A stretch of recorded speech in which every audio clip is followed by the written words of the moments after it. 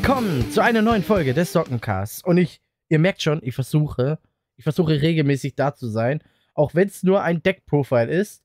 Aber ich versuche es so zu gestalten, dass man sich das auch gern anhören kann.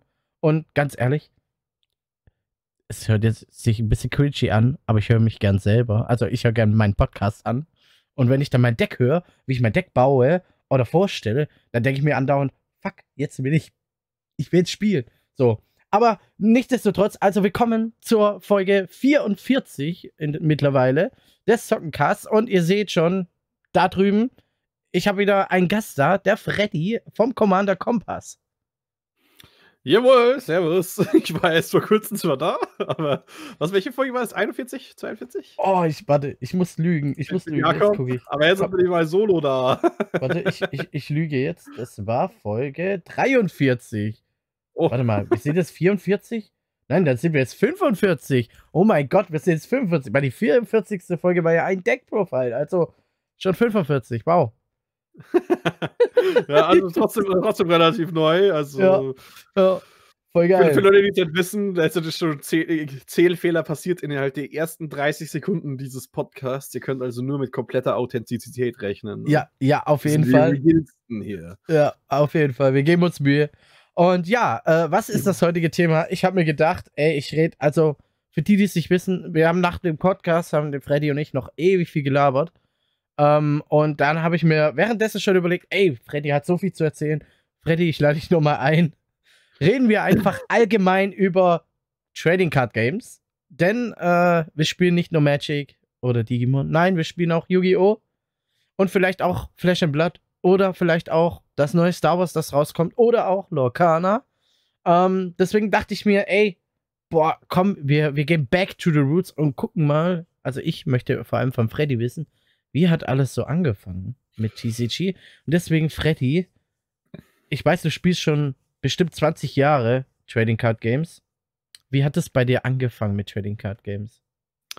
Naja, also ähm, auf dem Land hat man ja meistens nicht so viel Kontakt zu Leuten, aber ich habe halt den Vorteil, dass ich eine ältere Schwester und zwei ältere Brüder habe. Das heißt, als ich äh, so vier, fünf Jahre alt war, haben sich halt oftmals äh, die Kumpels von meinen äh, Brüdern und so versammelt und die haben so ein komisches Trading Card Game gespielt mit so braunen Rücken namens Magic the Gathering und äh, ein paar andere äh, Sachen davon.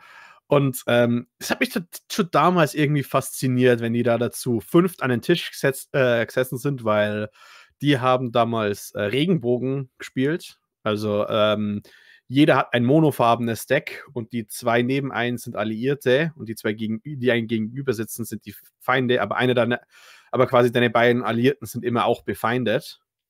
Oh, crazy. Ja, ähm, also die versuchen sich auch gegenseitig auszuschalten und der Gewinner ist halt, wer als erstes äh, die zwei Gegner von einem ausschaltet, aber sind halt zum Beispiel auch ein All eine, jeder Gegner ist auch ein Alliierter von deinen Alliierten. Warte, habt ihr Commander gespielt?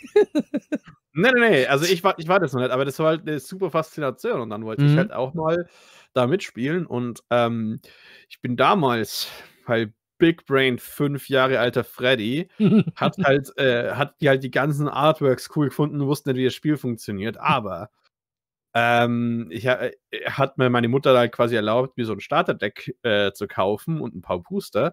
Und dann war ich so, hm, bevor, ich kann mich ganz leicht entscheiden. Ich öffne erst die zwei Booster und dann, was auch immer meine seltenen Karten sind, dazu kaufe ich, äh, sage ich dann meiner Mama, dass ich das Deck will. Oh, schlau. Deswegen weiß ich auch, dass meine allererste Karte der Drachenmagier war. Oha. Rare, weil ich, weil ich nämlich dann das Goblin-Deck damals bekommen habe. Das war ja rot. Und Freddy, äh, Freddy 5 weiß schon, was er spielen will. ja. Ich, ich habe bis heute eine Liebe eben für die rote Farbe im Magic. Ähm, mhm. Und naja, es kommt halt wirklich von klein auf her. ähm, also sind Go Goblins cool. Ähm, ja. Genau. Und es hat es halt angefangen schon als Kind, weil irgendwie haben mich Kartenspiele sogar mehr angefixt, also auch mit meinen Freunden und so, als äh, als die meisten Videospiele, die nicht Pokémon waren. Also mhm. man muss sagen, es war damals als kleiner Freddy war Pokémon an erster Stelle. Weil es waren die besten Spiele überhaupt. Ich habe hier hinten im Regal sogar noch meine alte Silber, die ich zum sechsten Geburtstag bekommen habe. Wow. Mit meinem Game Boy Color. Ähm, ich habe die Hölle aus diesem Spiel gezockt. Ähm, Kann ich mir vorstellen. Genau. Aber dann war es halt immer äh, Yu-Gi-Oh! Äh, Ma Ma Magic halt einfach, habe ich damals schon hin, äh, dazu gebracht. Aber ich habe halt dann auch einen kleinen, äh, als ich klein war, einen Kumpel bekommen. Oder einen, äh, einer meiner besten Freunde. Und der hat halt mit Yu-Gi-Oh! gespielt. Mhm. Und auch Magic. Und irgendwie hat sich das dann immer so zwischen den Spielen schon von damals hin und her gezeigt, weil es ist halt, was ist gerade cool? okay, ja, klar. Ja. Also äh, ich fange halt wirklich schon von klein auf an mit den Karten, die ich gespielt habe. Und die haben mich halt mein ganzes Leben bis jetzt halt immer in irgendeiner Weise verfolgt. Also mhm. ich habe die Liebe seit klein auf für Kartenspiele. Ich habe mit meinem kleinen Bruder, den habe ich auch, den habe ich süchtig gemacht nach Yu-Gi-Oh! damals. Ähm ich habe so viele Leute kennengelernt. Und äh, ja, die sind mir halt einfach alle sehr wichtig, was ich gespielt habe, auch wenn einige der alten Kartenspiele, die ich gespielt habe, wie Aliens vs. Predator. Ähm, da gab es Kartenspiel? Ja. Oh ja, Aliens Predator, äh, Customizable Card Game. Das, okay. Äh, hatte, mein, hatte mein größter Bruder und äh, er hatte halt die Karten noch und dann habe ich irgendwann das Regelheft gelernt und dann halt einfach mit meinen Kumpels auf dem äh, mitgebracht und einfach mal ein paar Decks zusammen und dann habe ich Aliens und Predator gespielt. Oha. Ja. Warte, das gab ein Aliens vs. Predator Trading Card Game. In, aus 1997.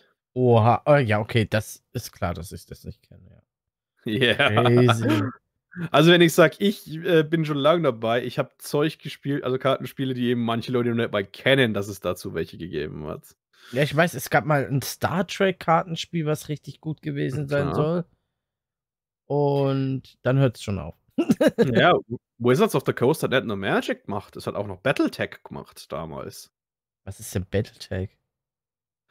Ähm, das war auch ein Kartenspiel, was halt dann eher futuristisch sein sollte im Gegensatz zu den äh, Dingen. Und Battletech ist ein ähm, Effekt, so eine Art Mech-Serie. Also es hat so ein Mech-Kartenspiel gegeben. Oh, krass. Ähm, was äh, habe ich, hab ich ein bisschen mitbekommen. Aber ähm. Ich gehe auch gerne in die Geschichte von irgendwelchen sehr komischen Kartenspielen rein, weil ich muss auch ganz ehrlich sagen, als Kind hat mich damals auch äh, äh, Duel Masters, was jeder Wengel abgeschrieben mm. hat, als mhm. den absoluten Abklatsch zwischen Magic und Yu-Gi-Oh!, zumindest mm. in meiner Gegend. Ähm, war cool. Es war ein gutes Spiel. Ja. Ich weiß ja, was alle dagegen hatten. Duel Masters wurde ja nur erfunden, um Werbung für Magic in Japan zu machen. Das ist die Geschichte ja. von Duel Masters. Genau, und das ist ja immer noch ziemlich erfolgreich in Japan. Ja, ich. krass. Da kommen jetzt immer noch neue Displays und Booster und alles drum raus. Also, mhm. da ist es noch haben groß. Die einen, haben die dann nicht auch mal so ein Rebranding gehabt? Also quasi, dass nicht mehr Duel Masters heißt, sondern Kaiju. Irgendwas? Boah, das weiß ich jetzt nicht. Aber ich, ich weiß, dass Duel Masters auf jeden Fall noch ein Ding ist in Japan. Aber in Japan, Alter, das, was da als an Kartenspiele mhm. rauskommt, da kriegt ja, erstmal kriegt jeder Anime erstmal ein Kartenspiel. So Klar, es gibt, es gibt eher als Kartenspiel. Und wer nicht, wer nicht weiß, was er ist, keine Ahnung, mein Kumpel hat es damals angeschaut irgendwie und ich fand's cringe. okay. Was ist Sorry. denn er? A-I-R wie Luft. Äh, ja, ja, ja, ich, ich, ich sagt mir irgendwas. Ja, eben, Aber das, ja. Das, das ist sowas, ähm, man kennt oft einen äh, speziellen Frame daraus. Mm, aus, dieser, okay. aus dieser Fernsehserie, weil die Augen so extrem weit von den Charakter auseinander sind. Also. Okay, äh, crazy. Ich muss mal irgendwas. Also, wenn ich es nicht vergesse, hier jetzt äh, für euch, die es auf äh, YouTube schauen, ich versuche hier irgendwas einzublenden, damit man jetzt äh, weiß, äh, von, wovon wir reden. Äh, und zwar jetzt. Ja. So, okay, hier war's. Ich weiß nicht, was es war.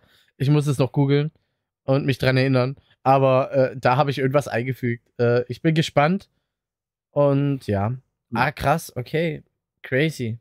Ja, also, ähm, und nein, ich liste nicht nur die äh, Wikipedia-Webseiten ab. Das sind alles Spiele, die ich eh irgendwo mal aufgesammelt habe oder so, weil mhm. mich hat halt auch, ich wollte einfach als Kind, zwar habe ich immer so meine Hauptspiele gehabt, aber ich wollte halt trotzdem, wenn da was Neues da war, das testen, weil es kann ja, ja auch cool sein. Also, ja. Duel Masters hat mir tatsächlich gefallen, weil viele Leute, die es nicht wissen, wie das funktioniert, das ist das Spiel, das das Schildsystem eingeführt hat. Also, dass man fünf Karten hat und wenn die angegriffen werden, können die einen Trigger haben. Quasi man hat fünf Schilde als Lebenspunkte. Mhm. Und wenn man einmal direkt angegriffen wird, ohne dass man ein Schild hat, dann hat man das Spiel verloren. Mhm. Aber das mm. Coole war halt mit den Karten, du konntest dein Deck, äh, es gab in deinem äh, Deck, konntest du Karten, die eine hohe Mana-Kosten hatten, aber sich für umsonst aktiviert haben, wenn die als Schild zerstört worden sind. Mhm. Und das ist das erste Spiel, was das eingeführt hat glaube ich. Vielleicht hat es was vorher gegeben, aber das erste populäre, sage ich mal, oder semi-populäre Spiel, das es eingeführt hat. Und ähm, das hat auch so ein bisschen meine, äh, meine Neugier für Spieldesign geweckt. Weil ich mhm. habe ja ähm, Medienwissenschaft studiert und ein großer Aspekt davon ist halt Weltbau und Spieldesign, der mich da, da eben vor allem voll interessiert hat. Und ähm, das ist so ein bisschen auch damit erweckt worden, weil ich habe halt immer bloß so, du hast so und so viele Lebenspunkte, da sind Zahlen, du versuchst die auf Null zu bekommen. Und als ich dann halt Dual Masters hatte, das ist tatsächlich so ein kleines wichtiges Spiel in meiner persönlichen Selbstfindung. ist halt ich habe es nicht lange gespielt, aber es hat halt so diesen Neugierfaktor. Warte mal, was kann man noch mit Kartenspielen machen? Ja. Angeregt. Und so. ein bisschen kritischer drüber zu denken. Wie hat es denn bei dir angefangen? Weil jetzt rede ich die ganze Zeit. ähm, ja, wie mein Name es schon verrät, habe ich mit Yu-Gi-Oh! angefangen. Mhm. Und äh, ich habe ja vor Yu-Gi-Oh! gar nicht gewusst, dass es irgendwas gab. Also, das gab es in meiner Welt noch nicht, weil ich niemand kannte, der Magic gespielt hätte. Und dann kam der Anime, ich war ja voll Anime, also es fing schon im Kindergarten an, da kam Mila Superstar damals. Und dann fing es gerade, da kam ich gerade in die Schule, kam Pokémon raus. So erste Klasse und so. Mhm. Und irgendwann, dann war ich halt voll in Anime drin und dann kam Yu-Gi-Oh! raus. Und ich weiß noch, wie der Anime lief und so weiter. Und irgendwann mal, ich weiß, es war in, in irgendeinem Sommer, in einem Freibad saßen wir da. Und da waren welche aus unserer Schule, die halt ein, zwei Klassen über uns waren. Und die saßen dran mit Yu-Gi-Oh! Karten. Und du glaubst es nicht. Die hatten Starterdeck Pegasus und ich glaube Joey, Kaiba oder Yugi. Also einer von denen. Und ohne Witz, da, da hat sich das Gefühl, das halbe Freibad versammelt, um denen dabei zuzugucken, wie die mit den Karten spielen. Weil vor, vor allem, du, siehst es halt im Fernsehen und Pokémon wusstest du, ja, okay, es gibt die Pokémon hier, äh, Figuren mhm. und bla bla bla und Spiel und so weiter. Aber die Karten, die gibt's in echt. Und wir saßen alle, standen alle drumrum so, was? Die Karten gibt's wirklich? Man kann wirklich damit spielen? Was? Also so hat alles angefangen. Und dann sind wir natürlich los und haben dann geguckt. Und einer meiner besten Freunde, der mir jetzt äh, die Freundschaft gekündigt hat, ähm, damals war es mein bester Freund. Ähm, mhm. Warum? Egal. Einfach bescheuert, aber ist okay. Ähm, der hatte Kaiba und ich hatte Yugi. Weil ich fand die dunkle Magier immer cooler als den Drache. Ich, äh, außerdem fand ich Seto immer voll so angeberisch und so. Da ging mir voll auf den Sack gefühlt. Und immer meine Drachen hier, meine Drachen da. Das fand mich immer so bescheuert. Und ja, deswegen Dunkle Magier und da hänge ich immer noch fest dran. Der Dunkle Magier ist immer mein Main-Ding. Und damit hat es angefangen. Und natürlich, ich weiß ja nicht, wie du das kennengelernt hast und gespielt hast, aber wir haben halt so gespielt, wie wir es aus der Serie kennen. also, um. Ähm. ja, ähm, es, es lief wild teilweise ab. Also, wer im Gras saß, dem seine äh, Insekten und so waren dann stärker. Und wer auf Stein saß, dem sein Steinsoldat war stärker und so Quatsch. Okay. oh ja. Ähm, naja, es. Wie, wir haben es halt damals äh, kennengelernt. Ähm, da war halt, glaube ich, die. Er ich, ich kannte Yu-Gi-Oh! nicht. Und ich habe halt irgendwann mal äh, ähm, Hausaufgaben gemacht und deshalb mein Kumpel vorbeikommen. Weil mittlerweile in, äh, in so einem kleinen Dorf wie ich hat es damals keine verschlossenen Türen gegeben, effektiv. Kenne ich, kenn ich sowas, sowas bei uns auch. Bei uns gingen die Freunde auch immer ein und aus, wie die sind einfach durch den Garten rein. Ja, genau. Und ähm, genau, ich habe halt Hausaufgaben gemacht und dann äh, hat, hat er halt einen Fernseher gemacht, bis ich fertig war. Und dann habe hab ich das Yu-Gi-Oh! gesehen und er hat es halt schon gekannt. Und äh, bei uns beim Bäcker damals. Beim Bäcker? Hatten, ja, genau, der Bäcker, der ähm, also, ist halt äh, die Cousine von einem guten Kumpel von uns, der schon ein bisschen älter ist. Äh, und die hat, äh, hat halt tatsächlich, wir haben ein bisschen so geredet und das war halt auch so ein, jeder kennt sich. Mhm. Und ähm, der Andi, mein, äh, äh, mein Freund damals, der ein bisschen älter war, mit zehn oder elf zu dem Zeitpunkt, oh. der hat halt quasi seine, äh, seine Tante dann so, dazu mal quasi so ein bisschen überredet, ja, mit dem Yu-Gi-Oh! Zeug, äh, das mitzumachen. Und dann hat es beim Bäcker tatsächlich bei uns Yu-Gi-Oh! Booster gegeben und äh, Starter-Decks. Oh nein! die wir dann auch irgendwann gehabt haben, neben der Brezel. Oder Laugenstange mit äh, Käse. Und es hat mm. niemand hat eine bessere Käsestange gemacht als diese Bäckerei damals auf der ganzen Welt. Hört's auf. Mm. ich habe ja, auch so ich auch so Nostalgie-Bäcker bei mir. Also nicht jetzt hier, wo ich wohne in Dorsten. Hier jetzt nicht, sondern im Süden damals. Also ja. hier ist aber genau. katastrophal. Genau. Aber dann war ich halt, äh, aber dann haben wir uns halt, ich habe das, äh, ich habe auch das Yugi-Deck damals gehabt, mhm. ähm, weil die Kaiba-Decks waren alle schon länger so vergriffen. Ähm, und irgendwie bin ich mit zwei Kopien davon geendet, weil wer, wer hatte das, wer hatte das, wer hatte das. Und äh, so wie ich mich daran erinnern kann, ja, der schwarze Manga war der Selling Point, aber der eigentliche Selling Point war eben der herbeigerufene Totenkopf oder mm. Summon Skull damals. Ja. Uh, der war Hammer. Der war heftig. Mhm. Der braucht nämlich nur ein genau. Tribut, das ist genauso stark. Ja, und äh, das war tatsächlich, glaube ich, das und ich habe nämlich ich, es ist nämlich sehr komisch, wenn ich das jetzt Leuten sage, weil ich habe weirden Shit gespielt. Ich habe nie das Pokémon-Kartenspiel gespielt. Nee. Das hat damals bei uns niemand hat die, die Regeln gekannt.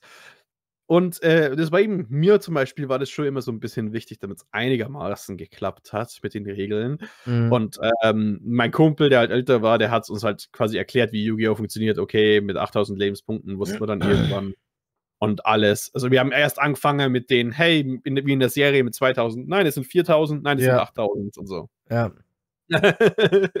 Irgendwann ist man mal rübergegangen zu ihnen und hat die Regeln gelernt. ähm, genau. Es war halt schwer, weil damals waren viele der Karten nur auf Englisch.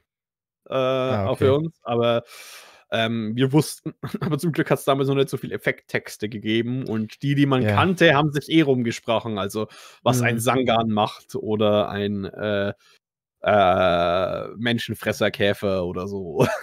Ja, ja. aber Dam äh, damals hattest du auch nur eine Handvoll Effektmonster. Da, mhm. da hast du auch aber nicht so viel gebraucht. Aber bei uns war Pokémon halt immer so, wenn wir Pokémon spielen wollen, dann spielen wir Pokémon und wir, wieso brauchen wir ein Kartenspiel dafür? Mhm. Das ist, das ist glaube ich, was, was bei uns als Kind dadurch war. Ich habe mal kurz on, äh, Pokémon online gespielt, als ich 14 war oder so, habe mir da ein Deck gekauft, also den, mit dem Online-Simulator und mir hat es gar nicht so getaugt, wobei es ja eigentlich ganz cool sein soll. Aber irgendwie hat mich da das Spiel selbst nicht gerissen, weil man muss es also sagen, wenn ich ich habe das bis heute. Pokémon braucht für mich, glaube ich, nicht so unbedingt ein Kartenspiel, weil es ist ja schon ein Spiel. Ja.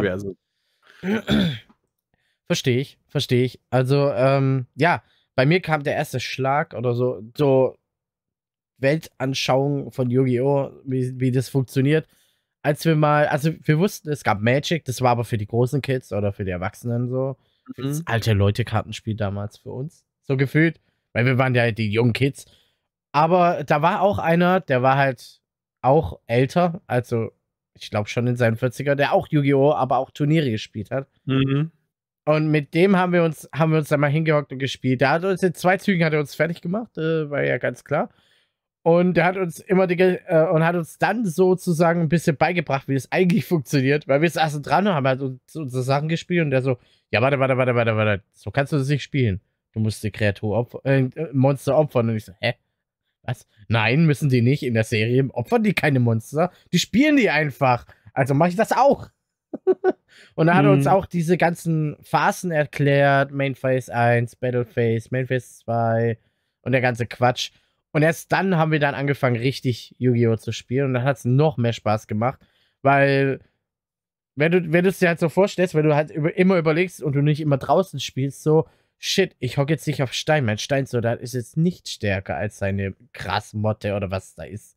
So, äh, Kacke, jetzt funktioniert mein Deck so nicht so, weil du immer schon ein bisschen überlegt hast, okay, ich muss irgendwo da sitzen, damit dann ist mein, mein Deck stärker und so. Dann macht's Sandkasten mehr. ist broken. Ja, genau. Sandkasten jetzt in meine Sand. So bescheuert. Aber damals hast du auch ohne Sleeves gespielt. Du hast sie halt einfach mit Gummiband drum und let's go. Also, yeah. ja. Ja. Und Pokémon-Karten habe ich auch. Ich habe immer nur ein paar mal gehabt. Äh, ich habe halt mhm. nie jemand gefunden, der das kann, weil wenn du Dorfi bist, entweder machen alle den gleichen Shit und wissen dann, wie es geht, oder das kann halt keiner, so. Und ich habe mir meinen Starterdeck geholt damals. Oh mein Gott, das ist schon richtig lang her. Was war das? Hat Smetbo oder sowas? Irgendw irgendwie sowas. Oder ein. Oh, ich weiß nicht. Es war irgendein Gras-Pokémon-Starterdeck oder so. Und ich gucke mir halt die Karten an und denke mir so, boah, sind die cool hier, die sehen cool aus, aber ich weiß nicht, wie es geht. Hm. Und ich habe es auch nicht verstanden. Jetzt im Nachhinein hat mir so bin ich auch eher zu Magic gekommen. Jetzt mal kommt der Sprung so. Ähm, als mir Yu-Gi-Oh! angefangen hat, auf den Sack zu gehen, habe ich hier einen kennengelernt. Der, der, der Striker Cosplay, der war auch schon öfter bei mir im Podcast. Der hat halt Pokémon gespielt hm? und hat mir dann erklärt, wie es geht. Und daher kannte ich dann auch das mit dem Mana und so, weil im Pokémon muss ja Energie an die Pokémon anlegen, um ihre Fähigkeiten machen zu können.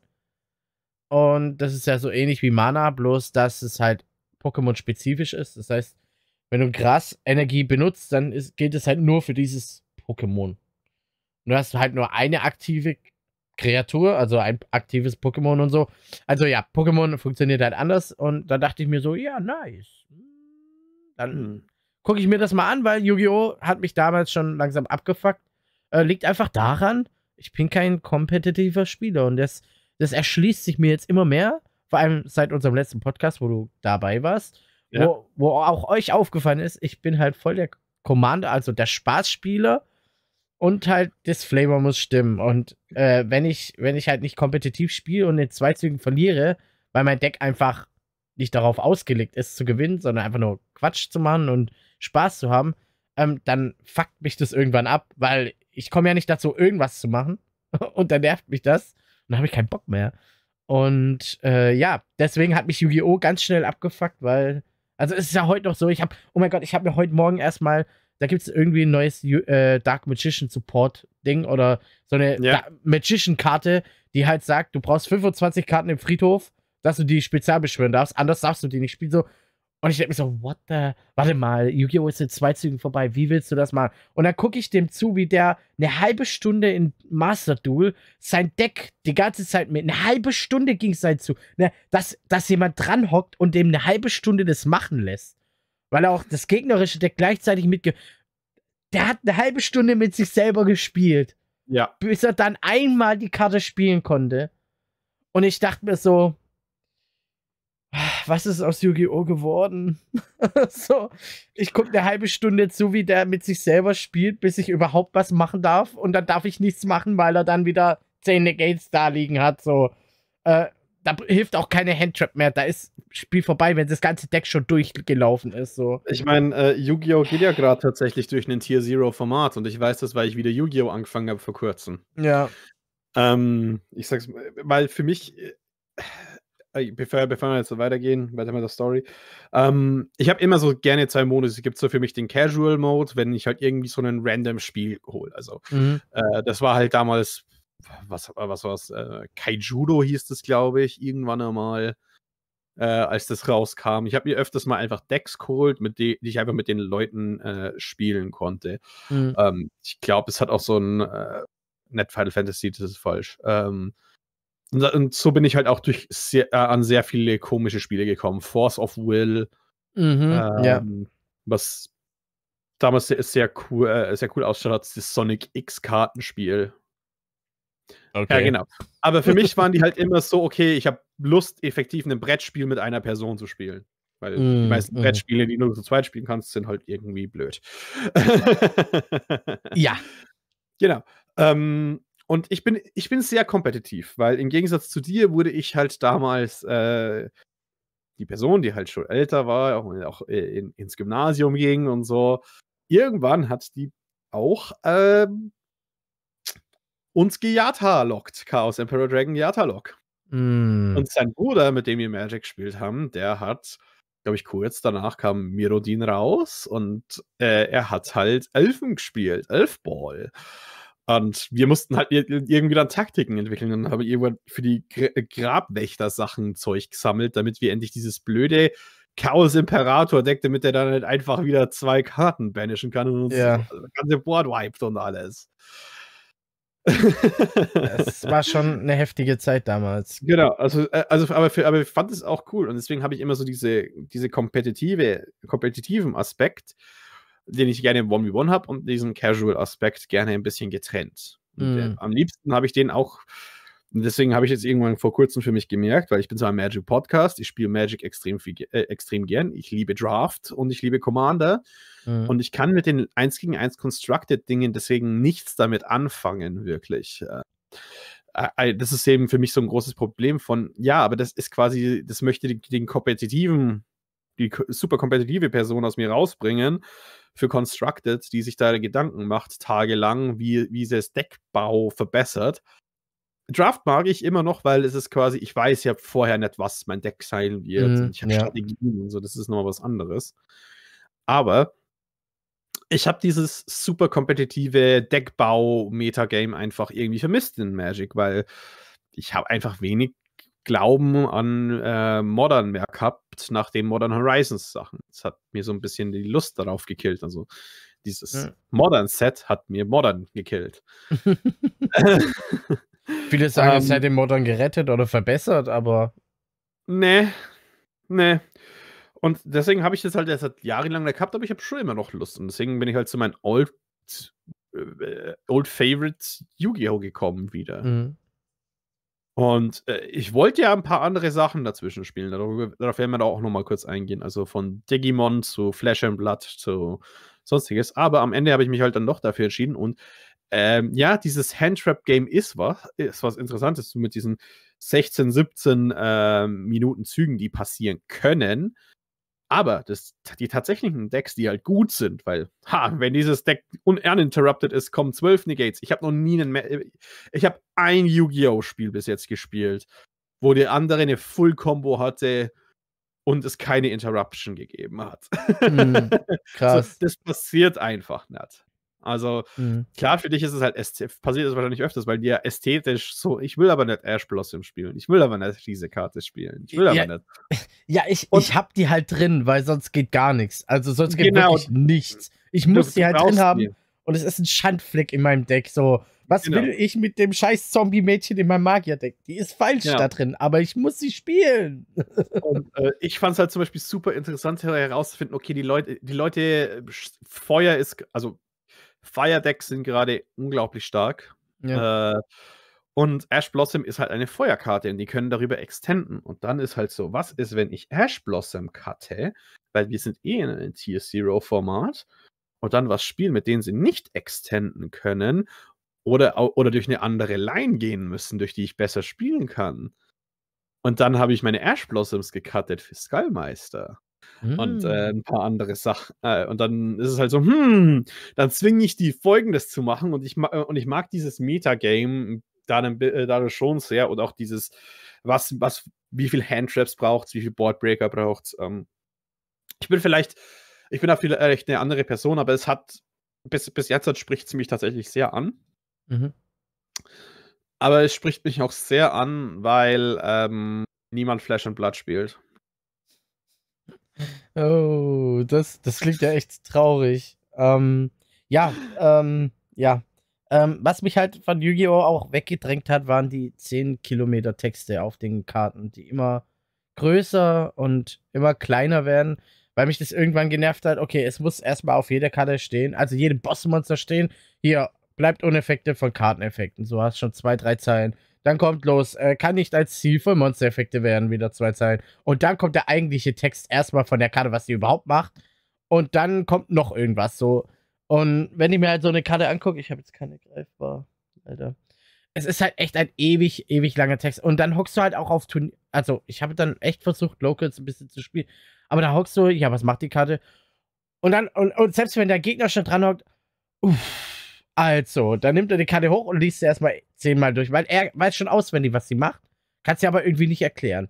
So, und dann, dann, dann, dann hockst du dran und versuchst die zu verstehen. Und dann heißt es ja hier Timer. Und du hockst halt dran und denkst so, ja, okay, scheiß drauf, mach einfach so. Ähm, weil da liegen fünf Karten mit ewig langen Texten, die er innerhalb mhm. von zwei Minuten, zwei Sekunden rausgeballert hat. Und das ist halt irgendwie was, was mich halt ein bisschen echt gestört hat oder was mich davon abgebracht hat. Aber ja, mhm. äh, du kommst auf Flasche Blatt. Ich hab's ausprobiert. Ich verstehe es nur noch nicht so richtig. Ich hab's halt auf der Spielmesse ausprobiert und ja es, es ist irgendwie cool, du hast halt deinen Helden, also müsste mich eigentlich richtig packen, weil du hast halt deinen Helden und darauf, da, darauf basiert dein Deck so. Aber genau. Äh, ich habe halt A, nicht viele hier zum Spiel, wobei jetzt in meiner Magic-Gruppe habe ich äh, kennengelernt, dass der Bruder von dem einen irgendwie auf Weltmeisterschaft geht, also der soll ein richtig krasser Crack sein, was, äh, was Flash and Blood angeht. Ähm, und er selber spielt auch ein bisschen.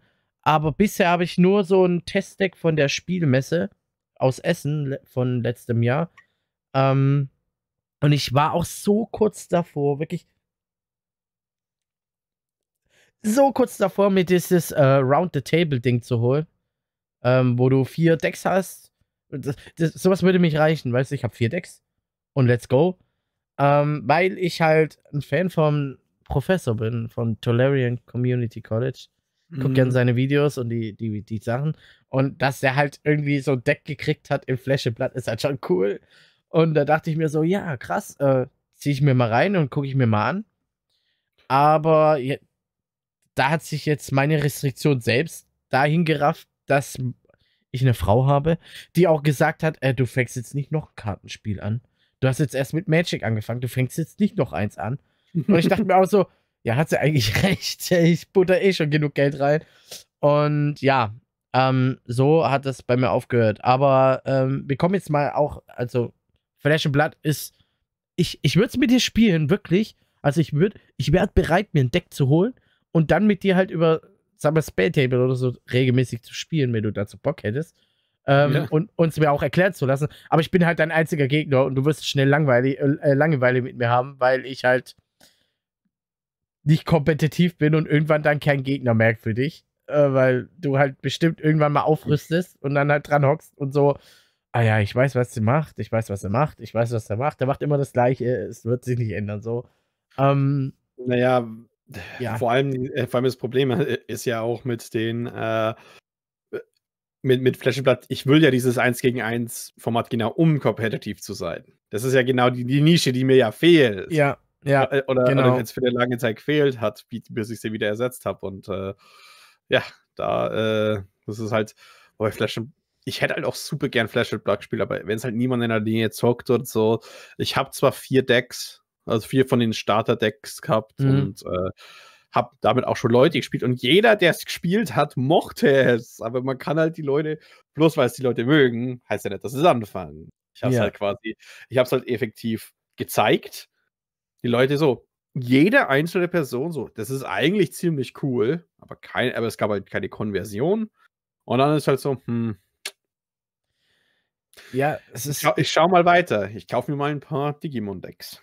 Ja, es ist halt echt schwierig auch, vor allem wenn du halt jemand hast, der halt schon wirklich in irgendwas voll drin ist, den zu zeigen, hier, guck mal das Neue an. So, ich meine, es kommt gerade richtig viel neuer Shit raus. Und da ist halt, viele denken sich halt auch, ja, wenn ich da jetzt anfange und Geld reinbutter und es in zwei Jahren nicht mehr supported wird und ausstirbt, wie einige Kartenspiele, die das, bei denen das schon passiert ist, ähm, ist halt immer schwierig. Wie zum Beispiel, ich meine, jetzt kommt, jetzt kam Lorcana raus.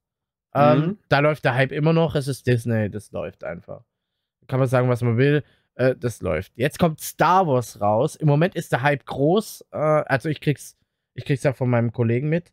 Ähm, also die rufen jetzt jeden Tag schon an, hey, wann kriegt ihr das rein, wann, wann wird es abgeschickt und so, obwohl der Release erst nächste Woche ist. Also die Leute sind echt, die wollen, haben Bock auf Star Wars und ich habe es mir auch, ich weiß nicht, ob du es dir angeschaut hast, aber ich habe es mir auf, angeschaut auf der Spielmesse und ich sitze halt dran und spiele das und denke mir so, ja, es ist halt Magic, bloß mit Star Wars und ein bisschen abgeändert.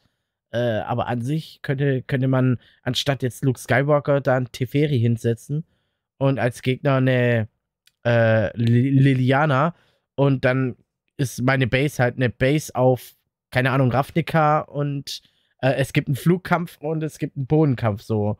Ähm, aber an sich, du hast ja auch irgendwie, du kannst auch jede Karte, so wie bei Lorcana, als Ressource verwenden in Star Wars. Und dann hast du halt auch deine, wie, wie Mana, ich weiß halt nicht mehr, wie die Ressource da hieß. Mhm. Ähm, hast halt auch dein Mana, was du auch tappen kannst. Und so ein Zug läuft auch ein bisschen crazy ab, weil du machst was, dann darf dein Gegner was machen. Dann machst wieder du was, dann darf wieder dein Gegner machen. So lang, bis, bis der Erste nichts mehr machen kann. Und dann kriegst du die Initiative, irgendwie sowas. Und du darfst dann als nächstes den Zug anfangen. Aber irgendwie, es ist ein bisschen verwirrend.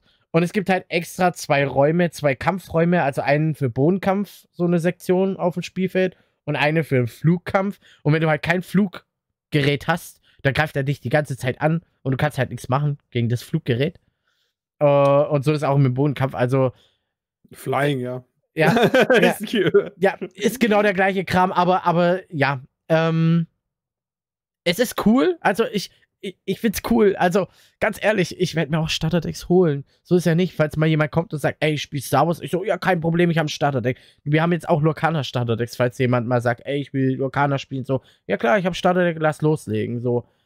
Aber ich will da nicht richtig tief rein. Ich, ich, ich, ich weiß nicht, ob, ob Star Wars groß genug ist. Ich meine, es ist immer mal wieder da, ist immer mal wieder ein Hype da. Ich meine, es war als, als, als Mandalorian rauskam, war der Hype wieder riesig auf Star Wars. Und dann, dann war es wieder recht abgeflacht. Wenn, wenn man jetzt guckt, die neueste Staffel kommt, glaube ich, irgendwann mal bald wieder raus. Äh, der Hype ist nicht mehr da, so niemand spricht mehr drüber. Jetzt ist es halt da. Ich habe halt Angst, dass es halt floppt. So, das ist halt mein Ding.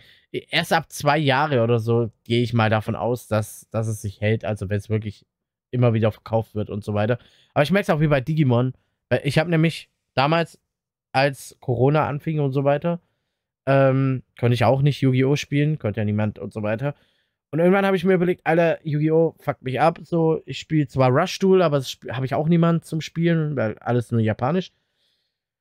Und Digimon läuft ja anscheinend und das ist der große Shit gerade. Und ich liebe Digimon mehr als Pokémon sowieso. Ja, dann gucke ich mir das an und bin da mit BT7 oder so eingestiegen. Und ich mag es jetzt immer noch. Ich bin aber auch, also was, was kaufen technisch geht und so, bin ich auch relativ raus, äh, weil es in meinem Shop auch schon nicht mehr gibt. Also ich habe vorher in einem Shop gespielt, Locals und so weiter. Die haben jetzt gesagt, weil ich konnte auch lange Zeit nicht wegen Arbeit und so, weil es auch immer am Wochenende war. Zum Glück war es am Wochenende. Ähm, konnte ich Wochenende ab und zu mal mitspielen. Ähm, aber die meiste Zeit konnte ich halt nicht spielen. Und aufgrund von Inaktivität haben sie halt gesagt, ja, lohnt sich nicht, äh, Digimon zu machen. Und, ja. und Digimon wurde ja auch jetzt sozusagen von One Piece abgelöst. So, Bandai hat sich selber genau. ins Bein geschossen, so ein bisschen. Äh, weil One Piece ganz groß, da kam die Serie auf Netflix, noch mehr Hype. Ähm, ich habe es nicht angefasst, ich habe es nicht angeschaut, ich werde es auch nicht anfassen und anschauen. Äh, jetzt werde ich voll den Hass kriegen, aber ich, ich kann keine Piraten leiden. Ich mag keine Piraten. Deswegen interessiert mich One Piece nicht und deswegen interessiert mich das Kartenspiel nicht. Auch wenn es gerade der krasseste Shit whatever ist. Ähm, und alles immer abverkauft ist. Jedes, also ich, ich krieg's halt mit vom Händler. Äh, jedes Ding, was er reinkriegt, sofort ausverkauft und äh, es wird andauernd nachgefragt, aber One Piece ist nicht mein Ding. Ja. Und ich habe halt echt Angst um Digimon, weil Digimon echt ein extrem geiles Kartenspiel ist. Und es ist so schade, dass so wenig Leute spielen. Aber es liegt auch daran, ganz ehrlich, Wobei, bei One Piece funktioniert es ja auch.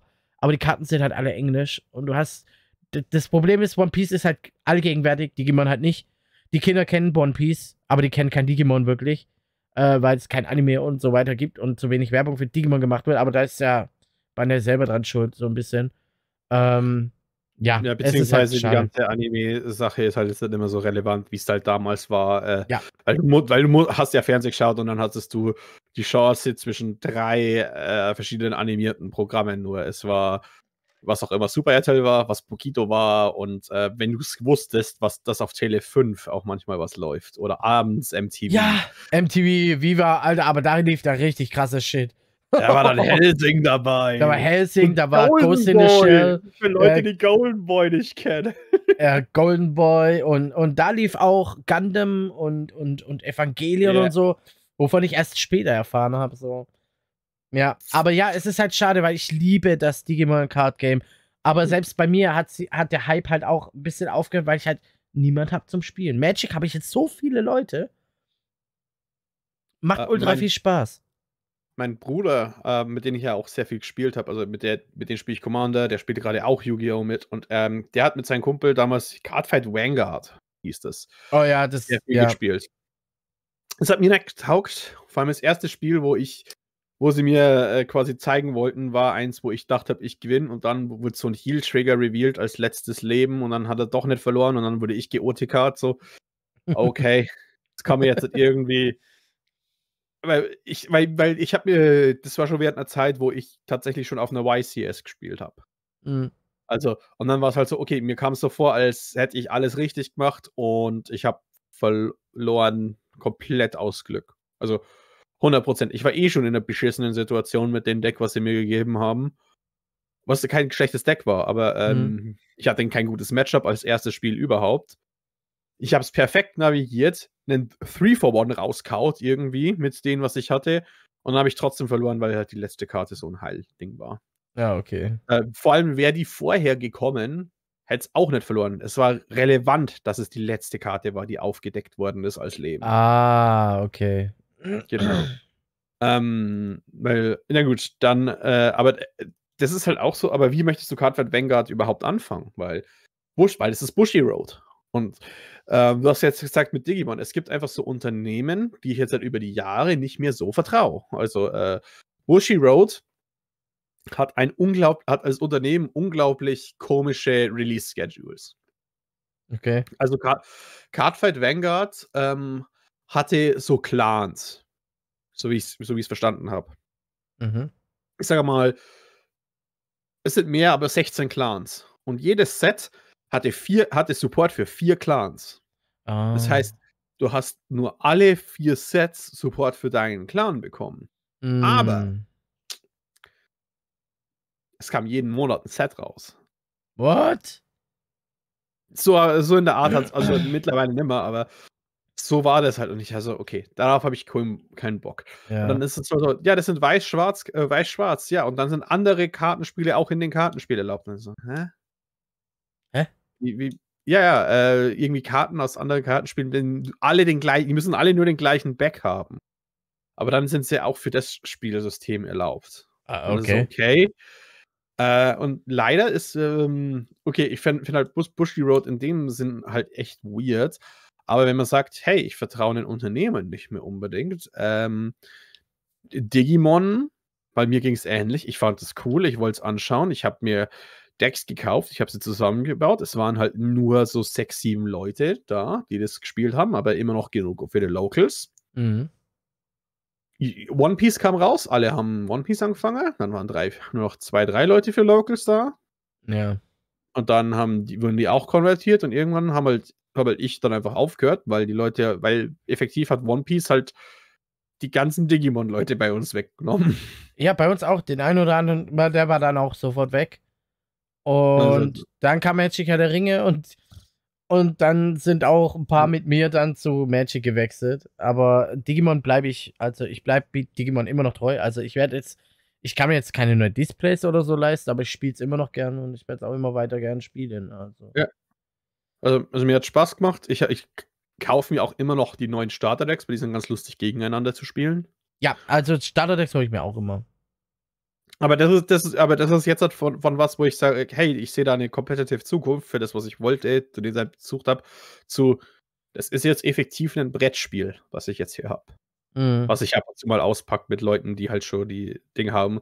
Das einfach ein paar äh, Decks gegeneinander spielen.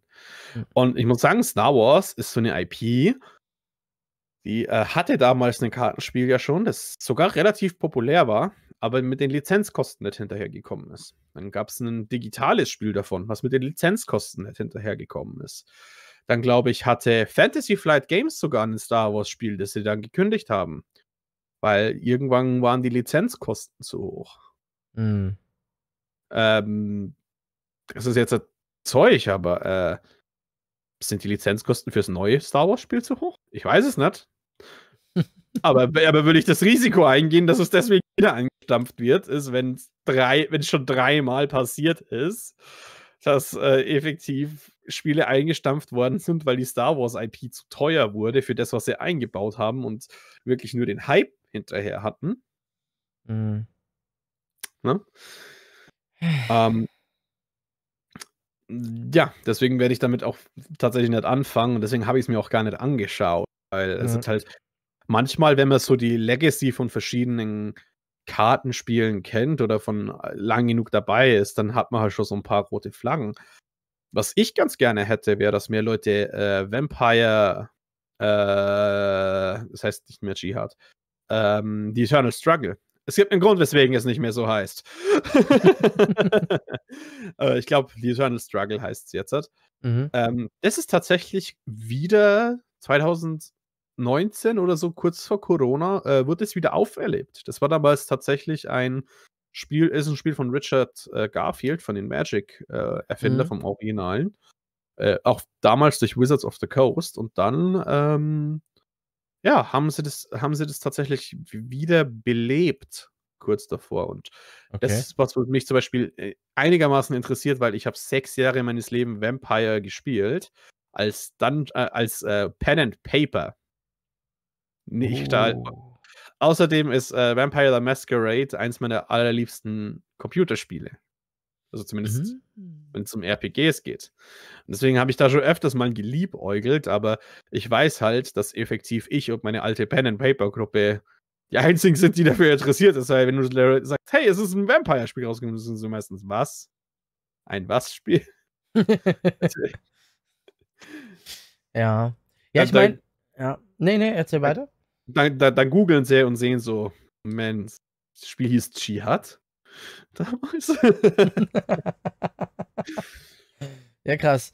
Nee, also es gibt auch ein Kartenspiel, was ich ultra gefeiert habe, aber niemand zum Spielen hatte, war das World of Warcraft Kartenspiel. Weil ich ein ja. riesen, riesen, riesen, riesen World of Warcraft Fan bin. Ich meine, wir haben erst vor zwei Wochen war es, glaube ich, für mich ein Druidendeck erstellt in Magic, weil ich gerade in, in einem, auf einem Privatserver, weil ich gerade Privatserver spiele, ähm, einen, einen Zombie, Zombie-Bären spiele, äh, mir ein Bären-Commander-Deck gebaut. Ähm, weil ich, also das, das war so cool damals. Das mein, System war mega geil. Ja, und vor allem, es, es gibt auch Raids, die man machen kann und die sollen ultra schwer sein und ultra viel Spaß machen. Aber ich mhm. hatte damals niemand, der es mit mir spiel, gespielt hat. Ich hatte nur so ein Starterdeck. Ähm, das ist dann irgendwann auch vergammelt. Äh, jetzt habe ich. Oh, du bist eingefroren. Oh. Liegt das, liegt das an mir? Äh, nö, das liegt an irgendwas. Moment. ich glaube, das muss jetzt tauschen.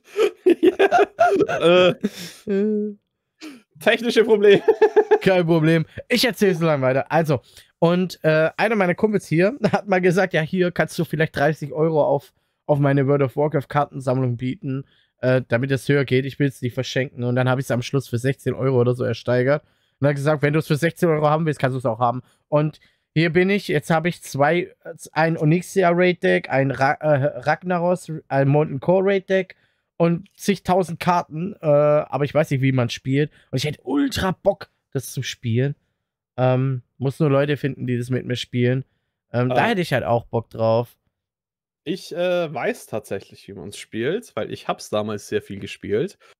Äh, mit meinem Bruder. Ähm, es war Oha. zwar jetzt nicht äh, na, äh, auch competitive, aber ich hab, wusste zumindest die Regeln und äh, ich hatte damals auch ein paar Decks und Karten, und hatte einen Warlock-Deck und äh, einen, äh, als, als, das, als der Death Knight rauskam, gab es so ein ganz cooles äh, Starter-Deck dafür mit so einer großen Box.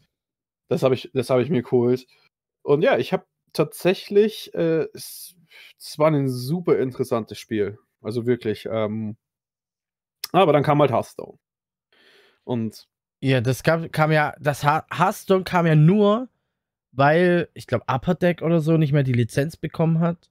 Ich glaube, da gab es auch irgend so ein Ding oder, oder Blizzard nicht mhm. mehr mit denen arbeiten wollten oder das Kartenspiel nicht genug gebracht ja, klar, hat. Äh, ich meine, auch Yu-Gi-Oh! ist dazu gewechselt und äh, Upper Deck hat es tatsächlich noch gegeben, äh, ähm, hat hat die Lizenz zur gleichen Zeit von World of Warcraft auch verloren.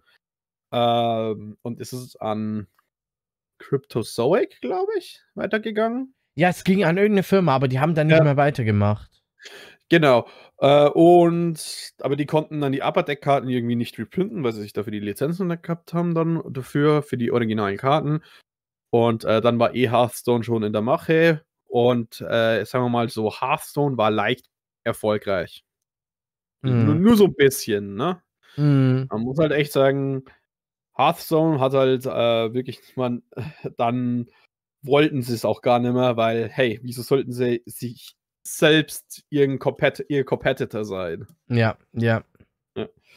Äh, für, für die Leute, insbesondere wenn es halt so leicht war, in Hearthstone aus Versehen massiv viel Geld auszugeben und man sich eben nicht um solche komischen Sachen wie Distributionskosten wirklich kümmern musste, und sondern einfach nur virtuelle Thanks. Ja. Ähm, ja. Das war, naja. Aber ich habe auch extrem viel Hearthstone gespielt. Ich war ähm, tatsächlich damals mit E-Cop, falls den noch jemand kennt, äh, den Streamer, äh, in den Kur äh, war ich tatsächlich ein Testpartner eine Zeit lang von denen. Ich war zwei, äh, ich habe hab tatsächlich Turniere gespielt in Hearthstone. Das habe ich Krass. sehr, sehr viel gemacht, weil ich habe auch einen Haufen WoW gezockt. Und ich war einer der Leute, die wie gesagt haben so, oh, ich liebe E-Kartenspiele, ich liebe WoW wäre doch nicht schlecht. Lass, ich ich gebe es eine Chance hier, weil am Anfang war jeder. ja! World of Warcraft Magic the Gathering. Und als es die Leute gespielt haben, war es halt auf einmal so richtig, richtig gut. Und, ähm. Hey! Da ist er wieder. Ey! Ich weiß nicht, was das war. Alles gut passiert manchmal. Ähm, genau. Und dann war es einfach. Es, es war so komisch weil dann war auf einmal der große Hype und die Leute waren so, oh mein Gott, das Spiel ist super gut. Und es war auch super gut für lange. Ja. Aber ich sag mal so, Blizzard ist jetzt halt nicht unbedingt die ähm, ungierigste Firma. Vor allem nicht unter Bobby Kotick. Ja, also die waren, die waren, die waren am Anfang, waren sie halt wirklich spielorientiert. War halt wirklich so, äh, hat sich dann geändert. Aber ähm, das ist richtig gut. Damals also jetzt damals, als Hearthstone noch in der Mache war und nur angekündigt wurde, saß ich damals, ich war mal Gast in einem, in einem Podcast, in einem Diablo 3 Podcast. Und haben sie sich auch darüber unterhalten, dass es angekündigt wurde. Und ich hab, ich saß damals drin, ohne Witz. Da gab es auch einer, der sich darüber lustig gemacht hat und hat gesagt, es wird floppen wie Sau. Und ich hock drin und sag, nein, Mann, wenn Blizzard was macht, damals war ich noch richtiger Fanboy, wenn Blizzard ja, ja, was macht, dann machen die das richtig. Und es war ja zu dem Zeitpunkt noch so, wenn die was gemacht haben, dann haben sie es richtig gemacht. Ja. Und, und, und, später war er der größte Hearthstone-Fanboy schlechthin. Und, ja. und ich saß immer selbstgefällig daran, so, du alte Drecksau, ich hab's dir gesagt, aber du hast nicht auf mich gehört. Und jetzt ja. siehst du, was du davon hast. So, so saß ich halt immer dran und dachte mir immer so, so richtig so, Faust ins Auge gelacht, so, echt. Und ich habe mir immer gewünscht, immer, immer wieder gewünscht und habe echt irgendwie gehofft, obwohl ich so dumm bin, äh, war ja klar, dass es nie passieren wird, aber ich habe mir echt gehofft, dass sie das auch mal physisch rausbringen. Hearthstone mit dem System, mit diesem Energiesystem und so, die Karten einfach physisch, Alter, die, die hätten nicht mal einen Aufwand. Die nehmen die, genau das Ding, druck's aus und man kann es richtig mit Leuten spielen. Weil ich hatte ich hat Leute, die gesagt haben, ja, aber ich spiele das nicht digital. Nee, wenn es als Kartenspiel geben würde, ja, da würde ich mitspielen. Aber so, ah, da muss ich am Handy oder am PC. Nee, ich sitze eh schon so lange am PC. Und ich habe echt immer gehofft, so, Alter, wieso machen die das nicht? Das wäre doch so geil, Alter. Shut up and take my money.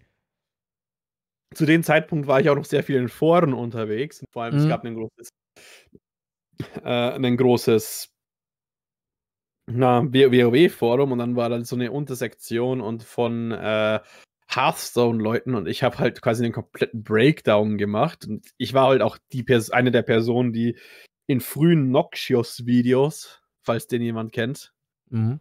äh, noch auf Cockatrice Hearthstone emuliert hat. Ja.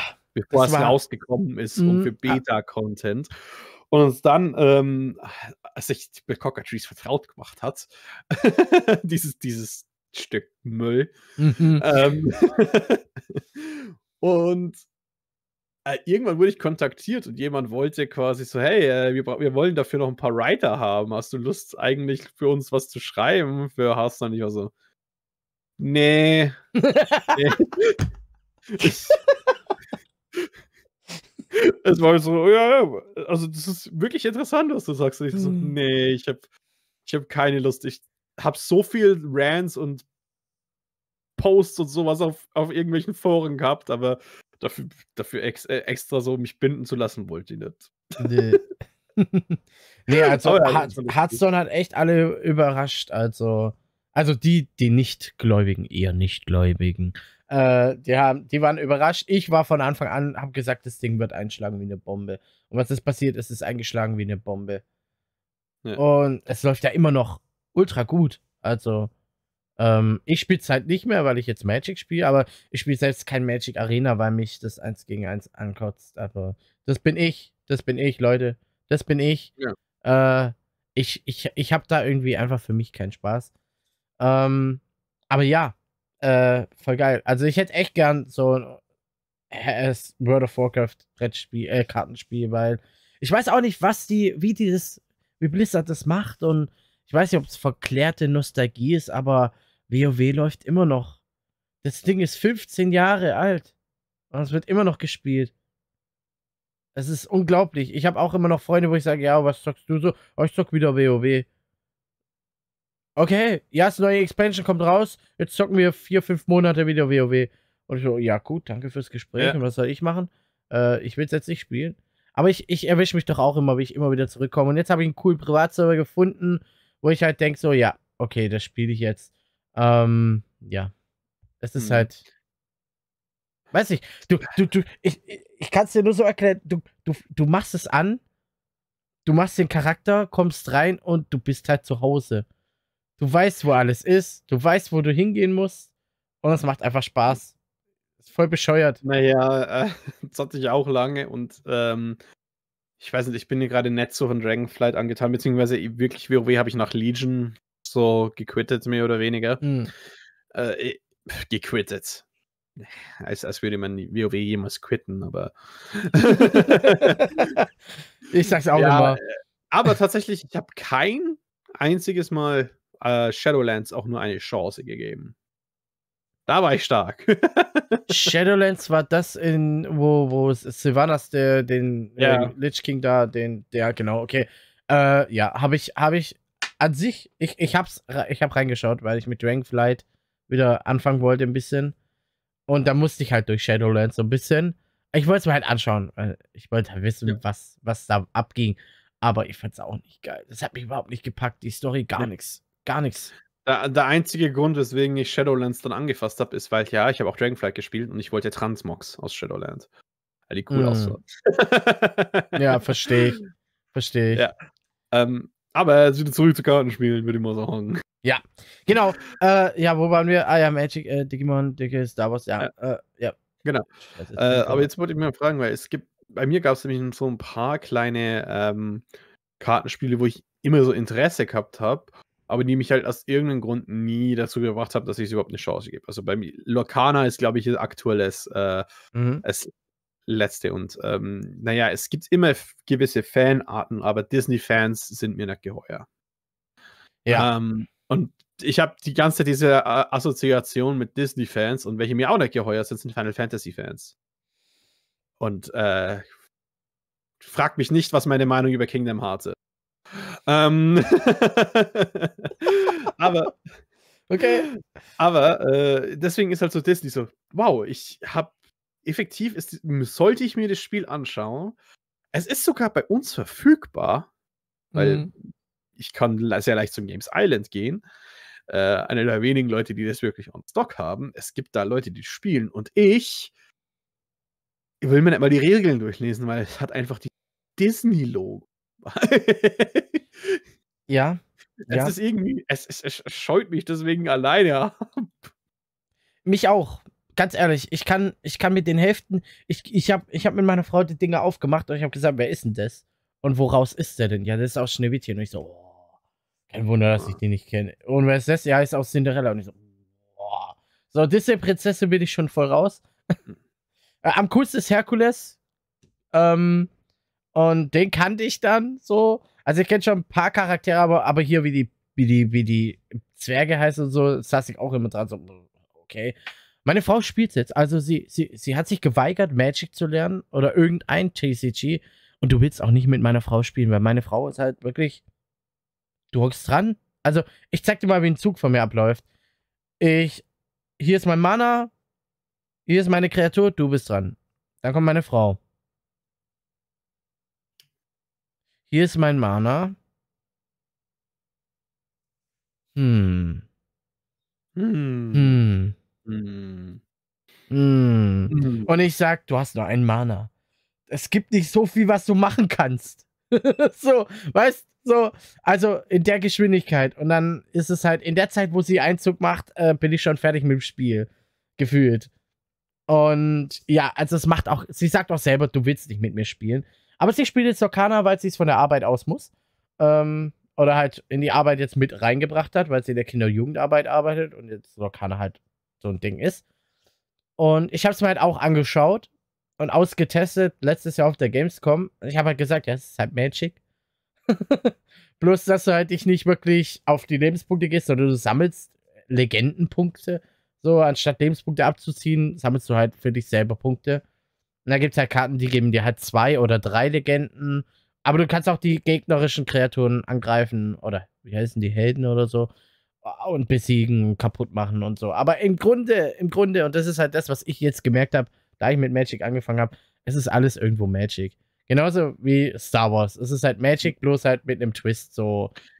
Äh, Eigentlich ist sogar meine, Star Wars Commander bloß mit einem Twist. So in der ja, Art. Äh, ich meine, auch äh, die Hanna, ähm, das Vampire-Spiel, was ich angeredet äh, angeredet habe vorhin, mhm. das ist für zwei bis fünf Spieler gemacht.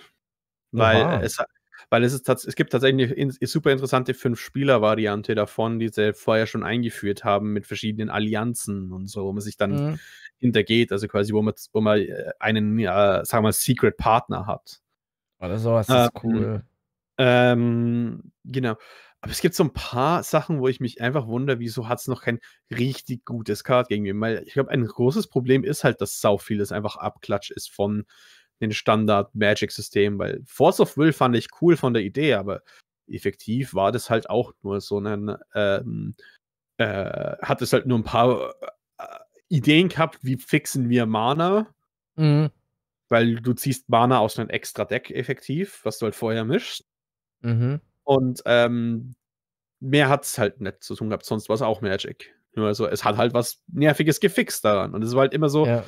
Und es hat, einen, hat, einen, hat eine coole Idee dafür, dass es halt so weirde Twists auf Fantasy äh, oder halt auf Märchen sind, wo halt, mhm. ähm, na, wie ist die Rotkäppchen halt der Wolf ist oder so. Oh, das ist ja cool. ja, also die, die Artworks sehen auch cool aus aus den Spielen, mhm. muss man sagen. Aber ist es halt dann nie geworden. Und manchmal ist es halt so schade, wenn ich dann höre, so, hey, es kommt, äh, es gibt immer mal wieder Spiele, die einfach anders sind. Also es gibt Yu-Gi-Oh! ist anders, Digimon ist anders, mhm. ähm, Pokémon ist anders und sowas. Und selten tun sich Spiele wirklich gut, wenn sie sehr nah an was sind. Also, ich sage mal, Hex TCG war damals ein großes äh, Kickstarter-Produkt, was effektiv okay. eine Art Singleplayer Magic the Gathering-Spiel sein sollte, aber halt auch Magic the Gathering auf den PC-Client. Ich wurde aus meinem Kickstarter-Money effektiv gescammt. Oh shit. Oh. äh, ja. Und ähm, manche Sachen wie zum Beispiel Superheldensysteme, da denke ich halt sofort an Versus System. Mhm. Und wenn ich an Versus System denke, bin ich nicht unbedingt glücklich. Okay. Das was, heißt, ist, was ist Versus System? Ähm, Versus System war, glaube ich, auch ein Upper Deck-Spiel damals. Mhm. Und ähm, das war ein, eine Mischung aus einem Deckbuilding und Kar äh, Kartenspiel, wo halt X-Men und sonstiges halt dabei waren. Also es war so Marvel-Charaktere und Mm. DC-Charaktere. Also es war Marvel versus DC, effektiv als Ah. Kartenspiel. Okay. Und äh, deswegen hat es so für mich sowohl Marvel als auch DC-Spiele äh, kaputt gemacht. okay. Äh, nee, ähm, es, war ein, es war okay, aber es hat halt kein, keine Langlebigkeit gehabt dafür, allein wegen den Lizenzen. Mm. Es ist, es ist tatsächlich häufig sowas, was ich, ich hasse es, dass ich das so oft erwähnt habe, aber ein großer Grund, weswegen viele Kartenspiele einfach auch fehlschlagen mit der Zeit, ist halt, entweder sie kommen, sie bekommen keinen Start, weil sie keine Lizenz, keine vorher bestehendes Marketing haben, weil wir Mhm. reden jetzt halt über die großen Kartenspiele. Gut, Yu-Gi-Oh! kam effektiv aus dem Nichts. Äh, Magic war eins der ersten, oder ja, war eins der ersten davon, Mhm. beziehungsweise ist das erste gute. Ähm, da, und äh, Digimon hatte aber schon was. Äh, wir, Star Wars Kartenspiel hat eine Lizenz dahinter. Digimon hat eine Lizenz. Mhm. Pokémon. Das Kartenspiel hat zwar, äh, es hatte zwar eine Lizenz, aber das war damals auch noch so ein bisschen so ein Phänomen, ob das überhaupt lange Zeit läuft. Das wusste Ja. ja, damals keiner. Das heißt, damit die Leute das anschauen, brauchst du eine Lizenz. Und manche Lizenzen sind halt extrem schwer oder die Leute erwarten auch viel dafür. Wenn du zum Beispiel, das ist zum Beispiel krass, dass es bis jetzt halt noch kein gescheites Warhammer-Game gibt für mich für Kartenspiele, weil für mich wäre das halt so eine, so eine Sache, wo ich denke, natürlich soll es ein Warhammer-Kartenspiel Spiel, äh, geben. Wieso nicht? Es gab es auch gibt- eins. Es gibt drei oder vier, aber die sind alle fehlgeschlagen, weil Ah, okay. entweder, die, äh, entweder die versuchen, ähm, so eine komische Mischform zu sein, oder äh, die, die spielen das Geld nicht ein, was, ge äh, was gewollt wird, auch wenn es einigermaßen funktioniert, oder ähm, ver- verschiedene Sachen, aber es ist fast immer irgendeine Lizenz dahinter. Und ähm, manchmal kommt was Neues heraus, aber das, das kämpft dann quasi gegen einen Strom an. Also ich meine, Elestrals soll ja gar nicht schlecht sein, aber wer hat von Elestrals gehört? Ich nicht. Keine Sau. Flesh and Blood tut sich schwer, immer noch. äh, Aber ist haben, haben wir cool. ja gesagt. Das ist, was, das ist was Neues. Es ist ein Spiel, das anders ist, weil man hat wirklich einen Held und rüstet die Rüstung aus und quasi die Angriffe sind dann, man tappt das Schwert, weil in der Runde hat man mit einem Schwert angegriffen. Mhm. Ähm, es, ist, es ist ein neues System und irgendwie, man braucht sowohl was, was nicht unbedingt repetitiv ist oder nicht äh, von was anderen ab ist, finde ich, um Erfolg zu haben. Aber Mhm. gleichzeitig möchtest du auch eine Lizenz dahinter haben, weil sonst schauen die Leute nicht drauf. Also, Ja. wenn man, wenn, wenn man wirklich schaut, okay, der, es ist wirklich eine Anomalie, dass Flash and Blood, also tatsächlich Leute dahinter hat. Ja. Und ja auch nicht schlecht läuft. Also wir, Ja. wir, wir sagen zwar, ah, ich finde niemanden zum Spielen, aber es ist halt wahrscheinlich eher eine Sache, die an das Problem, ein ein Problem an der deutschen Kart Kartenspielerszene, dass das nicht läuft, weil die sich nicht so darauf einlassen. Vielleicht ist es auch nicht so äh, gut verfügbar, weil ich glaube, das ist auch nicht so gut verfügbar bei uns. Ähm, vielleicht, aber ich glaube, in der USA und in äh, Großbritannien funktioniert das Spiel. Mhm. Funktioniert einfach. Ne. Ja, das ist halt, ja, ich hätte es echt angeschaut, aber ich habe halt niemand gehabt, so, der es mir dann beibringen könnte oder so, wie es halt geht. Jetzt hätte ich jemand, aber jetzt ist auch zu spät. Ich bin jetzt schon im Magic drin. Und ich finde es auch cool, äh, oder man merkt es ja auch bei Magic, weil du gerade sagst, hier, wenn man die Lizenz nicht kennt, dann guckt man halt nicht wirklich drauf. Ich meine, bei Magic, die ganzen Universe Beyond Sachen, die, die kriegen halt die Leute gerade. Ich meine, Herr der Ringe war das Nee, Warhammer hat es angefangen. Mit Warhammer hast du halt schon angefangen, Leute zu. dafür, dafür die Interesse zu erstellen für Magic. Also mal über den Tellerrand hinauszuschauen. Selbst ich damals, wovon Magic noch gar nichts gesehen, ge gewusst hat, hab, mir, hab gesehen, Warhammer bei Magic. Warte mal, Magic ist doch das alte, coole Kartenspiel, was ich nie anfassen wollte. Aber jetzt mit Warhammer, warte, warte. Und da habe ich mir auch schon überlegt, angefangen, anzufangen mit Magic. Und dann habe ich gehört, gab es auch die Godzilla-Karten. Ich glaube, die waren davor, Ikoria. Und da habe ich mir auch schon ja. überlegt, so, oh, Godzilla, what? Magic läuft halt so, das ist ein Kartenspiel, das gibt schon seit, seit ich kenne, Kartenspiel kenne. Vielleicht ist es doch was für mich. Und dann, als halt ich von Herr der Ringe erfahren habe, habe ich gesagt, okay, boom, jetzt bin ich dabei. Und jetzt, ich finde halt, Magic hat sich jetzt so, also für mich gefühlt, dahin entwickelt, dass es wie, das hört sich jetzt dumm an, aber ich habe das auch aus, ich weiß nicht, von Ravnica, vom, vom Ravnica-Podcast oder was von euch, mhm. äh, dass sich Magic jetzt immer mehr in so eine Art, so, das hier ist der, die Konsole, die wir zur Verfügung stellen. Ja. Und du holst dir halt Publisher dazu, wie jetzt Assassin's Creed oder Fallout. Oder das ist jetzt aktuell zum Beispiel. So, aber du holst halt die IPs. Jetzt kommt auch noch Final Fantasy irgendwann mal. Ich freue mich schon drauf. Ich bin Final Fantasy Fanboy, tut mir leid. äh, Siebener hat mir damals das Gehirn weggesprengt. Äh, als kleiner Bub. Und, ähm, und, und Marvel hast du jetzt auch. Äh, zwar die Comic, nicht das MCU zum Glück auch, weil Comics eh ein bisschen besser sind meistens. Ähm, ähm, ja, ich, ich mag auch einige Marvel-Comics. Äh, ich habe auch X-Men lang verfolgt.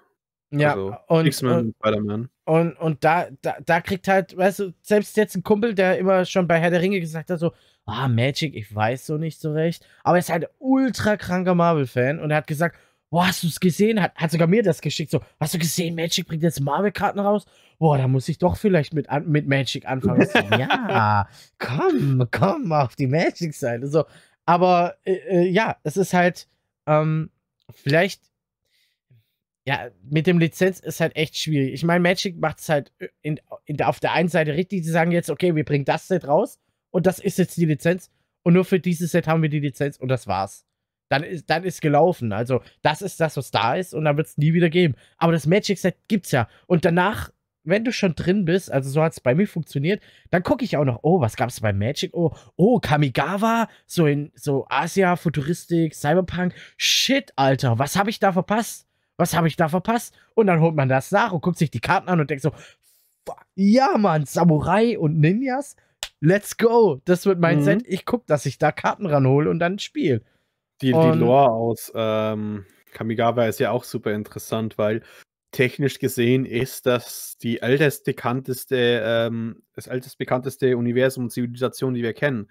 Damals in den, äh, als das erste Mal Kamigawa rauskam, war das ja effektiv 3000 Jahre oder so vor den eigentlichen Geschehnissen der Hauptstory in Magic da, zur damaligen Oha. Zeit. Also das war ja damals die älteste und jetzt ist es halt cool, dass wir, wenn wir jetzt zurückkommen zur aktuellen Zeit, dass es die futuristischste aller Städte, ja, ja, äh, aller, aller cool. Planes ist, weil damals, ja, nee, das, das war durch Zeit. Zeug, ja. äh, weil Bolas wollte äh, den, den Tetsuko Umesawa ähm, töten, bevor er jemals nach Dominaria gekommen ist, weil einer seiner Offsprings irgendwann Nicole Bolas tötet. Das war die äh, Story. Ah. Ja, ich glaube, das ist auch ein Problem, ähm, was, was so, oder was, was halt Trading Card Game zum Laufen bringt, wenn es eine Geschichte gibt. Weil mhm. Magic hat mich früher nie gepackt. Ich wusste nichts von Magic. Ich weiß, es gibt die Karten, aber es gibt keine Serie, es gibt keinen Film, es gibt kein irgendwas. Es gibt Bücher, wow. Ganz ehrlich, wenn du Animes guckst, wer, wer, wer hockt sich hin und liest so ein Buch, Alter? Mhm. Da gucke ich mir lieber ein Anime von an. So, du hast halt eine Story. Lokana, du kennst die Disney-Filme. Star Wars, du kennst Star Wars. Und, und okay, Blood ist auch wieder so, aber das war auch so ein Nischending, so, es kann laufen, hat ja meistens ja. die Magic-Spiele abgeholt. Und da finde ich, die eigene Magic-IP ist halt, ich finde, nicht so stark. Also, ich, ich weiß nichts von der Geschichte so. Mhm. Ich weiß, es gab den War of the Spark, weil der Trailer ultra sick war. Selbst da wollte ich mit Magic anfangen. Ich denke, guck mir den Trailer an und denke mir so, warte mal, das ist ein Kartenspiel? What the fuck? Warte, hä? Und das sieht so sick aus. Das ist, ein, das ist doch ein Film, Alter. Wie jetzt ein Kartenspiel zum Film. Ey, warte mal, was? Und da habe ich rausgefunden, das war nur für ein Set, ein Trailer. Aber der war halt so krass produziert, wo ich mir gedacht habe, Alter, mach doch, mhm. mach doch eine Serie. Und, und erzähl uns die Geschichte. Erzähl mir die Geschichte, bitte, bitte, erzähl mir die Geschichte. Das war die ganze Gatewatch-Saga und dazu soll es ja sogar eine Serie geben, bald. Ja, hoffentlich. Aber, äh, über Gideon als Hauptcharakter und hier hast du folgende Sache: so, oh cool, äh, du hast, du hast einen Großteil von Leuten, die halt sind so, oh cool, jetzt haben wir mal so eine Magic-Sache. Vielleicht geht es in die Richtung von Arcane. Hoffentlich wie, wie, mit League of Legends. Und das ist auch meine Hoffnung. Mhm. Weil, aber das Erste, womit sie sich vielleicht schon ein bisschen in den Fuß geschossen haben, ist, dass Gideon der Hauptcharakter ist. Und dann ist halt so, weil du hattest nämlich zwei Reaktionen, so, oh cool, das ist die Gatewatch-Saga. Und du hattest, oh nein, es ist die Gatewatch-Saga. okay, sag mir nichts mehr. Ich finde es so witzig. Die einen sagen, oh ja, die Gatewatch. Und die anderen, oh nein, die Gatewatch. Ja, weil ähm, effektiv, was die Gatewatch-Saga ist, ist es eine der wahrscheinlich zwiegespaltesten Stories in Magic. Äh, okay. Von je nachdem, wen du magst, magst du es nicht. Und das war so eine Sache. Die Leute haben es immer verarscht, so, hey, jetzt haben wir halt die Marvel-Superhelden hier. Weil ah, es so ein okay. richtiges generisches Marvel-Konzept war. Also, ah, okay. Ja, okay, verstehe ja. ich dann. Ja, also ich finde ich es halt echt gut. Also ich komme jetzt immer noch nicht in die Story von Magic rein. Ähm, mhm. äh, ich habe ja jetzt äh, miterlebt, habe ich jetzt Wilds of Eldraine. Ich fand es halt cool, dieses Märchending, aber es hat mir storymäßig, ich kenne halt, ich kenne die Planeswalker nur, weil ich sie als Karte kenne. Liliana mhm. zum Beispiel, oder weil ich davon gehört habe. Teferi und, und Gideon und Karn und so. Ich aber, könnte dir und, über jeden von denen eine Abhandlung schreiben. Und, und, und Chandra kenne ich auch, aber, aber so, so wirklich storymäßig weiß ich nichts. Ich weiß nicht, was abgelaufen ist und ich weiß nicht, was abläuft. Ich weiß jetzt hier, dass im Marsch der Maschine, dass Phyrexia da irgendwie eine große Rolle gespielt hat. Und, aber äh, das, das ja. ist so schwer Du weißt gar nicht, wer, was Phyrexia ist. Gar nicht, nein. Ist, ich, ich, weiß, es ist ein Subtyp auf Karten meistens, so Phyrexianer Mensch, so, aber ist es jetzt so eine Art Parasit? Ist es jetzt so eine Art, äh, weißt du, so wie die Zerg, die dann auch Menschen vor, vor, vor Menschen konnten? Oder ist es so eine Art Virus, der die Menschen befällt? Oder keine Ahnung, ich konnte mir da nichts viel mit eindingsen. Ich weiß nur, die sehen abgespaced auf aus. Also diese weiße mit dem Rot und so, das ist schon heftig. Also als ich das zum ersten Mal gesehen habe, dachte ich so, Diablo 3 oder so. Okay, let's go. Aber ja, voll heftig eigentlich. Uh, gut, ich kann es ja vielleicht kurz erzählen, was Phyrexia ist. Uh, um es kurz zu fassen, uh, Phyrexia ist effektiv ein, eine Plane, ein Ort mhm. uh, im Multiversum, der ursprüngliche, und ähm, der ist eine äh, Biomechanik, äh, und der hat halt, ist halt mit einer biomechanischen Lebensform und quasi so eine Art ah. Maschinenhölle ausgerüstet. Und ah. ähm, dadurch, dass halt dieses Öl, was du halt siehst, und dieses Metall, weil mhm. die, die transformieren das ja, das, die tragen Daten in sich und effektiv korruptieren die ein und das Fleisch wird dann mehr zu diesen Phyrexien. Es ist quasi es ist, äh, die Gedanken von den Leuten und sonstiges werden mehr oder weniger in das Metall gespeichert und es vermehrt sich biomechanisch auf verschiedene ah. Ebenen. Das ist so eine Art äh, tatsächlicher Body Horror, also wirklich übertriebener Body Horror. Wenn du die originalen Artworks anschaust, dann ist halt da nichts so mit, oh, es ist irgendeine Katze, die so ein bisschen ein Filigranzeug hat, sondern da, da, äh, wenn du mal teilweise die alten Artworks anschaust, ist so, oh nein, dann werden seine Organe rausgerissen und äh, durch neue oh, ersetzt und neue äh, und, und, und seine Gedanken werden, gespeich äh, werden gespeichert, neu umgeschrieben und wieder zurückgehen. Und es gibt Schläferagenten, die 17, also die wirklich ihr ganzes Leben, äh, anders Leben haben, bis sie, äh, bis sie in Kontakt mit diesem Metall kommt, der ihnen dann ihre tatsächliche Aufgabe gibt und ihr alte, ihre komplette Existenz auslöschen innerhalb von einer Sekunde. Shit, jetzt habe ich voll Bock auf Phyrexianer. die sind, so. die sind, deswegen ist es so, es gibt ja die alten Phyrexianer und es gibt die neuen Phyrexianer und das ist, mhm. die haben eine super interessante Story, aber die alten Phyrexianer, die sind richtig hardcore. Die sind richtig badass, okay. Krass. Ja, siehst du, äh, sowas erfährt man halt äh, nicht, weißt du? Du denkst halt, okay, das sind die, weißt du, wenn du halt anfängst und dann so, okay, da steht Phyrexian drauf, was ist denn ein Phyrexian so? Ähm, aber es ist so ein Kuchenviech. So jetzt übertrieben dargestellt, so, mhm. okay, mhm. okay, damit kann ich jetzt nichts anfangen, aber ich weiß auch nicht die Geschichte. So, es ist halt schwierig, da Leute halt ranzufinden. Aber mit jetzt mit dem Universe Beyond ist halt echt einfach, Leute für Magic zu begeistern. Äh, ich weiß, es, das stoßt dem eingefleischten Magic-Fan sauer auf. Ähm, manchmal, wenn er dann hört, oh, okay, der hat jetzt mit Herr der Ringe angefangen, so, oh nein, jetzt kommen Nazguls, wow. Äh, aber mich hat's halt richtig gehuckt dann und ich wollte dann mehr von Magic sehen und nicht nur mich, sondern auch ein Kumpel, der sagt hier, oh, Ratten sind geil, Alter, lass mal, lass mal gucken, was Ratten machen können. Und ja, es ist halt echt, ich, ich liebe Magic jetzt seit neuem. Es ist halt echt. Meine Gedanken drehen sich fast immer nur um Magic, neue Decks und so ein Quatsch. Es ist einfach. Es ist die Honeymoon-Phase. Bis es mich abfuckt. äh, bei mir war es, äh, ist es halt gerade mit Fallout, was mir halt wehtut. Aber gut. Äh, ich, äh, kurze, auch wenn es jetzt Magic, äh, wenn es wirklich ein Magic Podcast sein soll, aber da kommen jetzt halt nämlich auch in Universes Beyond die Fallout-Decks und Fallout ist mir mhm. halt tief im Herzen. Also Fallout 2 war das erste Spiel, was ich installiert habe, als ich meinen eigenen PC hatte. No way. Ja, und äh, ich liebe Fallout 1, Fallout 2 und New Vegas, aber ich habe halt immer einen Disdain für die, ähm, na, wie es, äh, für die Bethesda-Teile. Mhm. Weil, beziehungsweise eigentlich nur für vier. Weil drei und vier setzt halt auf Spektakel, aber tut halt quasi effektiv das ganze Rollenspiel aus einem Rollenspiel nehmen und die Welt ist so künstlich. Also quasi, mhm. die Bethesda-Spiele fühlen sich für mich an, als wären das äh, als wären das Fallout-Spiele von jemandem, der über Fallout gehört hat, aber sie gespielt hat. Ah. Fallout 3 und 4. Okay. Und was halt jetzt halt mit diesen neuen Fallout-Sets, deswegen bin ich da das so hart im Konflikt ähm, damit, weil ja, es sind coole Charaktere aus meiner äh, teilweise Jugend, ja.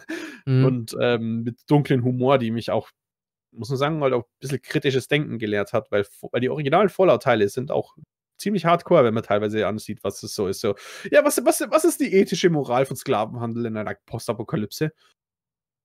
Äh. oh, ähm, ich kenne mich mit Fallout nicht aus, deswegen sagt, hört sich das eh total crazy an. Genau. Also, ich, ich sag's mal so: In Fallout 2 war mein Charakter ein, tatsächlich auch ein Sklavenhändler. Warte, ähm, da kann man Sklavenhändler sein? Ja, du kannst äh, zwei, drei Sklaven tatsächlich voller zwei verkaufen. Weil so viel Freiheit haben sie dir da gegeben, haben auch den Respekt gehabt, dir auch dafür Konsequenzen zu geben. Okay, krass. Ja, tatsächlich.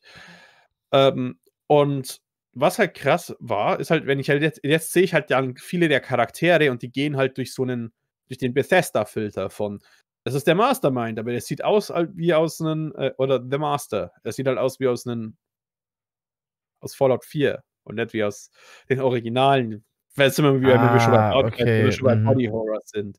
Das ganze Energiedeck ähm, macht quasi, ich habe ein Riesenproblem mit den Bethesda-Teilen, wie sie die Brotherhood of Steel, falls dir die was sagt, oder zumindest der Name, weil die sind sehr, sehr bekannt. Und mhm. die sind ja repräsentativ in den ersten äh, zwei Spielen, ähm, wie, die, wie diese versuchte Bürokratie eigentlich das erlaubt, dass äh, dass sich tatsächlich böse Mächte breit machen in der ganzen Sache, weil die waren mhm. super geheim und äh, wollten alle Technik für sich horten, alle, fu äh, alle futuristische.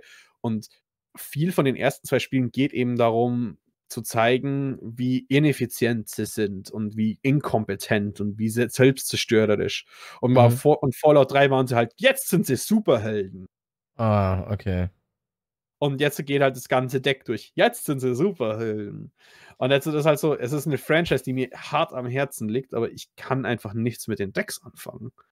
Mm. Und das, das aus, aus, ästhetischen Gründen, richtig? Viel aus, ja, aus ästhetischen Gründen ist es halt mm. so, ich sehe 50% der Karten und denke mir sofort so, ja, aber so wird es nicht, so sieht es nicht aus in Fallout 2 oder New Vegas. Oder? Ja, ja, okay. Das ist dann halt auch ein Problem, wenn du halt wirklich unterschiedliche, äh, ähm, unterschiedliche Studios. Studios hast, danke. Äh, Studios hast, die dann, äh, und dann wird es auch schwierig, wer hat jetzt die Lizenz und von dem darfst mhm. du dann auch nur verwenden. So. Genau. Deswegen, ähm, eine meiner Lieblingssachen, weil du hast gesagt, du bist Marvel-Fan, ich bin tatsächlich ein bisschen mehr DC mhm. Fan. Also, und, und, und, damit meine ich nicht, oh, ich mag Batman und Superman. So. Oh nein, Batman. Ich liebe Swamp, äh, ich liebe Dial M, ich liebe ähm, äh, ich liebe Swamp Thing, ich liebe Animal Man, ich liebe, also quasi, äh, ich liebe die Teen Titans. so, so Zeug. Ja. Ähm, ich hätte es lieber, wenn ich, selbst wenn es ein Kartenspiel wäre, dass ich ein Injustice-Kartenspiel hätte, statt ein DC Everything. Mhm. Ja. Also ein, ein fokussiertes Universum. Ich wäre auch für Marvel viel zufriedener, wenn es ein X-Men-Kartensystem gäbe, statt ein Marvel Everything. Ja.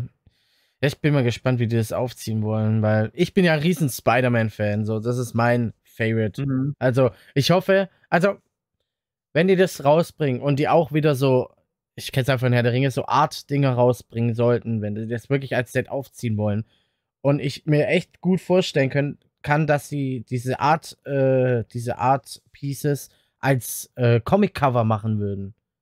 Dann will ich auf jeden Fall Spider-Man. Und dann werde ich alles tun, was ich kann, um Spider-Man und Venom und so, alles, was mit Spider-Man zu tun hat, zu bekommen. Mysterio, alles. Ist mir egal. Aber ich will auch nur ein Spider-Man Commander Deck. Alles andere ist mir egal. Äh, ich will Spider-Man und sonst will ich nichts. Also, bei mir könnte es auch ein Universe Beyond Spider-Man sein äh, weil da gibt es eh schon genug. Äh, aber genauso wie du. Also bei Marvel, ich kann, ich kann mit vielen Helden einfach nichts anfangen. Auch bei DC. Ich weiß nicht, ist Spawn DC oder Marvel? Uh, Spawn ist weder noch. Spawn ist. Ähm, das ist, ist wieder ein ganz eigenes Ding. Ja, ja, äh, Gott, jetzt fällt mir das nicht ein mit Guinness. Ähm, ich, ich google schnell. Ja, aber das ist halt ähm, halt auch so ein ultra krasses Viech. Ja, es ist nämlich, es gibt nämlich, äh, nämlich vier. Es ist ja von Todd McFarlane und Image Comics heißen sie. Ah, okay. Ja. Aber, aber ich hätte, ich hätte, ich, ich finde es auch besser, wenn es dann auch dieser Comic-Look ist, wirklich Comic-Look. Und äh, nicht wirklich äh, Charaktere aus Film und Fernsehen, wie man es kennt, weil wenn man sich halt die Comics anguckt, und, und ich finde auch eher den moderneren Comic-Look viel cooler als den alten. Das ist meine persönliche Meinung. Äh, ich mag es, wenn die Farben richtig schön hm. äh, gesättigt sind und nicht nur so da, spärlich ausgemalt, wie es damals halt war. So da ein Fleck gelb und da ein Fleck grün und dann ist es halt ausgemalt so. Sondern wenn es halt wirklich richtig sick aussieht.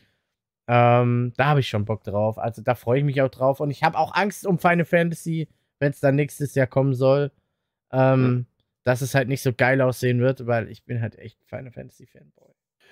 Äh, eine komische Sache, die Gut, also ich spoilere dich jetzt schon mal für die nächste um, um meiner äh, Folgen. Okay. vom Commander Kompass. Aber eine Sache, die mich halt tatsächlich sehr an Universe Beyond in Magic ausredet, also eine äh, aufregt, eine, was ich dann erst in der Folge wenn so herausgefunden habe, war halt, wenn jemand sagt, er spielt einen Legolas, dann frage ich, welcher Legolas? Dann sagen sie der Mono-Grüne. Und ich sage, welcher Legolas? ja, gut, verstehe ich. Ich spiele ja. Gandalf. Welcher Gandalf? Gandalf, Gandalf, Gandalf. Und das ist halt so, ja, ich, ich weiß, ihr wollt, manche Charaktere sind halt so, so oft, kommen halt so oft vor. Und wenn ja. ich mir jetzt überlege, ist es halt so, hey, es gibt ein Spider-Man-Deck und dann ist halt so, ja, es gibt wahrscheinlich äh, Miles Morales und es gibt einen ähm, Peter Parker Spider-Man wahrscheinlich. Mhm. Und weil es ja Into the Spider-Verse gibt, habe ich halt so ein bisschen die Angst, dass es Spider-Man, Spider-Man, Spider-Man, Spider-Man, Spider-Man, ja, okay, Spider-Man, so Spider-Man so, so krass fände ich es auch schlimm. Da fände ich es auch schlimm. Weil Spider-Man, theoretisch, also damals, als ich Spider-Man, ich habe ja die, die Serie geguckt, die, wie hieß sie, die Spider-Man, äh, New Spider-Man. Ja, okay. New Spider, es gibt ja verschiedene. Aber da, da gab, kam auch Fantastic Four drin vor, die, äh, Johnny die Flamme oder so. Der kam dann auch bei Spider-Man vor. Auf einmal war da, war, da, war, da, war da Fantastic Four. Und das hat mich auch immer gestört, wieso bei, bei, äh, oh, wie heißt bei, bei Avengers, wo, ist, wo sind die Fantastic Four? Bei den Comics ist Fantastic Four auch bei den Marvel, äh, bei den Avengers dabei. Wo sind die? So, frage ich mich heute noch, wo sind die? hm. Aber ja, es ist. Was, wir wissen nicht, wo die Reise hingeht. Trading Card ja. Games. Also, genau. ich bin jetzt mal gespannt, wie Star Wars sich machen wird. Nächste Woche kommt's raus. Heute ist der 29.02. und am 8.03. oder so kommt's raus. Also nächst, nächste Woche, Freitag. Und da bin ich mal gespannt. Äh, ich werde mir Starterdex holen, weil einfach, falls jemand mal kommt und spielen will, ich habe dann was da. Ja. Ähm, aber ja, es ist halt neue Kartenspiele bin ich halt immer vorsichtiger, weil es kommt halt echt so viel in letzter Zeit. Und ja. man, man, weißt du, es kommt ja dann nicht nur diesen Monat kommt das Set und nächsten Monat kommt schon das neue Set und dann kommt wieder neues. Und, und du hast ja schon, weil bei Yu-Gi-Oh! hast du ja schon gehabt, das, was mich auch gestört hat, dass jeden Monat eigentlich ein neues Set kommt. Da kommt ein Hauptset, Mhm. dann kommt ein Subset, dann kommt noch ein Special Edition, dann kommen noch die Tinboxen, dann kommt noch das, dann kommt noch das und dann kommt noch das. Dass ich einfach nicht hinterherkomme. Also ich müsste eigentlich so viel Geld verdienen, wenn ich mir von jedem Ding ein Produkt kaufen will. Da, da komme ich gar nicht hinterher. Und deswegen habe ich für mich halt gesagt, ich hole mir dann Starterdecks und dann war's das. Teilweise. Was Ja, ist ich, deine äh, Einschätzung? ich meine, ich wäre eigentlich super, also, äh, also ich hoffe ta äh, tatsächlich, dass noch ein cooles anderes Kartenspiel auf den Markt kommt, das mich auch demnächst abholt, weil äh, ich mag Yu-Gi-Oh!, ich mag Magic, aber ich bin halt immer für Neues bereit und vor allem bin ich auch Mhm. bereit, äh, Chance zu geben für was, was ich auch wirklich cool finde. Aber eine Sache, die, wo ich ja gerade das Problem habe, ist, es gibt wenig IPs, wo ich sage, die interessieren mich noch. Mhm. Und äh, ich will vor allem, wenn ich, wenn ich jetzt halt noch ein Kartenspiel anfangen wird, ein neues, will ich ein sehr anderes System zu dem, was wir haben. Also Mhm. ich Mhm. will kein weiteres Shield-System, ich will nicht eine andere Version von äh, Magic spielen, ich habe Magic. Ich will nicht eine andere Version von Yu-Gi-Oh! spielen, ich habe Yu-Gi-Oh! und so weiter. Ja, ja, ja, ja. Aber was ich tatsächlich super wichtig fände, wäre, ich will so gern irgendwas, was draftbar ist.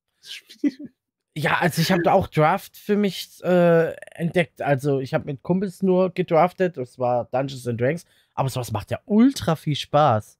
ja, Das ist ultra cool. Also, boah. Aber hier, meine Frage an dich. Also, ich weiß, wir, wir sind schon ewig am Labern, schon wieder eineinhalb Stunden, Alter. Ja. Ähm, wenn du, wenn du ein Kartenspiel jetzt designen könntest, Ja. hättest du da eine, eine Idee, also Re Ressourcenidee und äh, Unterstützung, also sowas wie Zauber, also Spontanzauber oder Fallenkarten oder sowas und, und Ausrüstung. Hättest du da schon eine Idee, wie das ablaufen würde und gäbe es da eine IP, die du dafür gern hättest oder eine komplett neue erfinden? Ähm, wenn, dann würde ich, sage ich mal, eine Dungeons and Dragons IP und ich meine wirklich nicht äh, äh, oder Pathfinder in, im, im Zweifelsfall halt so eine klassische Fantasy IP und ich hätte tatsächlich schon eine Idee dafür. Ähm, was ich halt eine coole Idee immer, immer finde, ist halt dieses, ach, mit den Lebenspunkten ist ein bisschen abstrakt, aber äh, ich sag mal, Schätze sind cool. Und ähm, was mir, was mir halt noch fehlt, was mir halt fehlt, ist quasi dieses äh, Schatzsystem aus äh, oder dieses Quest-System eben aus Wo- World of Warcraft. Mhm. Und ich hätte halt ganz gerne ein äh, Kartenspiel oder ein D&D, wo du dir halt wirklich eine Party zusammenbaust ähm, und du auf verschiedene Quests gehst gegeneinander und quasi, sagen wir mal, du, vers du versuchst, äh, du spielst zwar gegeneinander, du hast Lebenspunkte, du kannst die gegnerische Party killen, das ist die Hauptmission, aber ich sage mal, es gibt einen World Deck mit Missionen und du könntest die quasi jährlich updaten, sodass äh, dass du dir Boni im Spiel erkämpfen kannst, dafür, dass du halt eine Mission completest. Oder ich mag sagen, pro Set oder sonstiges. Das wäre halt schön draftbar, weil ich sag mal, ähm, statt ein Ressourcensystem würdest, würdest du halt, sag ich mal, mit zwei Helden oder drei Helden auf dem Spielfeld starten. Ein Mhm. bisschen, und du würdest halt Equipment spielen und dann können sie auch erst angreifen und sonstiges. Also quasi, ich würde ein bisschen einen Hero-Builder, sag ich mal, spielen Mhm. äh, aufbauen. Das wär, denke ich, wäre ein cooles System, ähm, mit dem man was machen kann. Und ich finde auch die Idee von, hey, äh, bau deinen Held aus Flash und Blood sehr cool. Bloß ich glaube, das kann man tatsächlich noch weiter auf, auffrischen, noch weiter einfleischen. Und ich würde, ich würd, es kann auch was Generisches sein, tatsächlich. Es muss nicht unbedingt DD sein. Ich denke halt, es ist ein guter Flavor dafür Mhm. sag mal, wenn du, du spielst halt dann, sag ich mal, den Warlock und seine Minions oder so. Ja, ist schon cool. Ja. Äh, als Helden. Und dann kannst du dir selbst dein, dein, die Schergen dann equippen mit irgendwelchen Waffen und, son Waffen und sonstiges. Und ich, ich fände es schon cool, wenn man so eine Art Lane-System ist falsch ge gesagt, aber ich sag mal, so ein Bau deinen eigenen Held-System würde mir schon sehr gut gefallen. Mhm.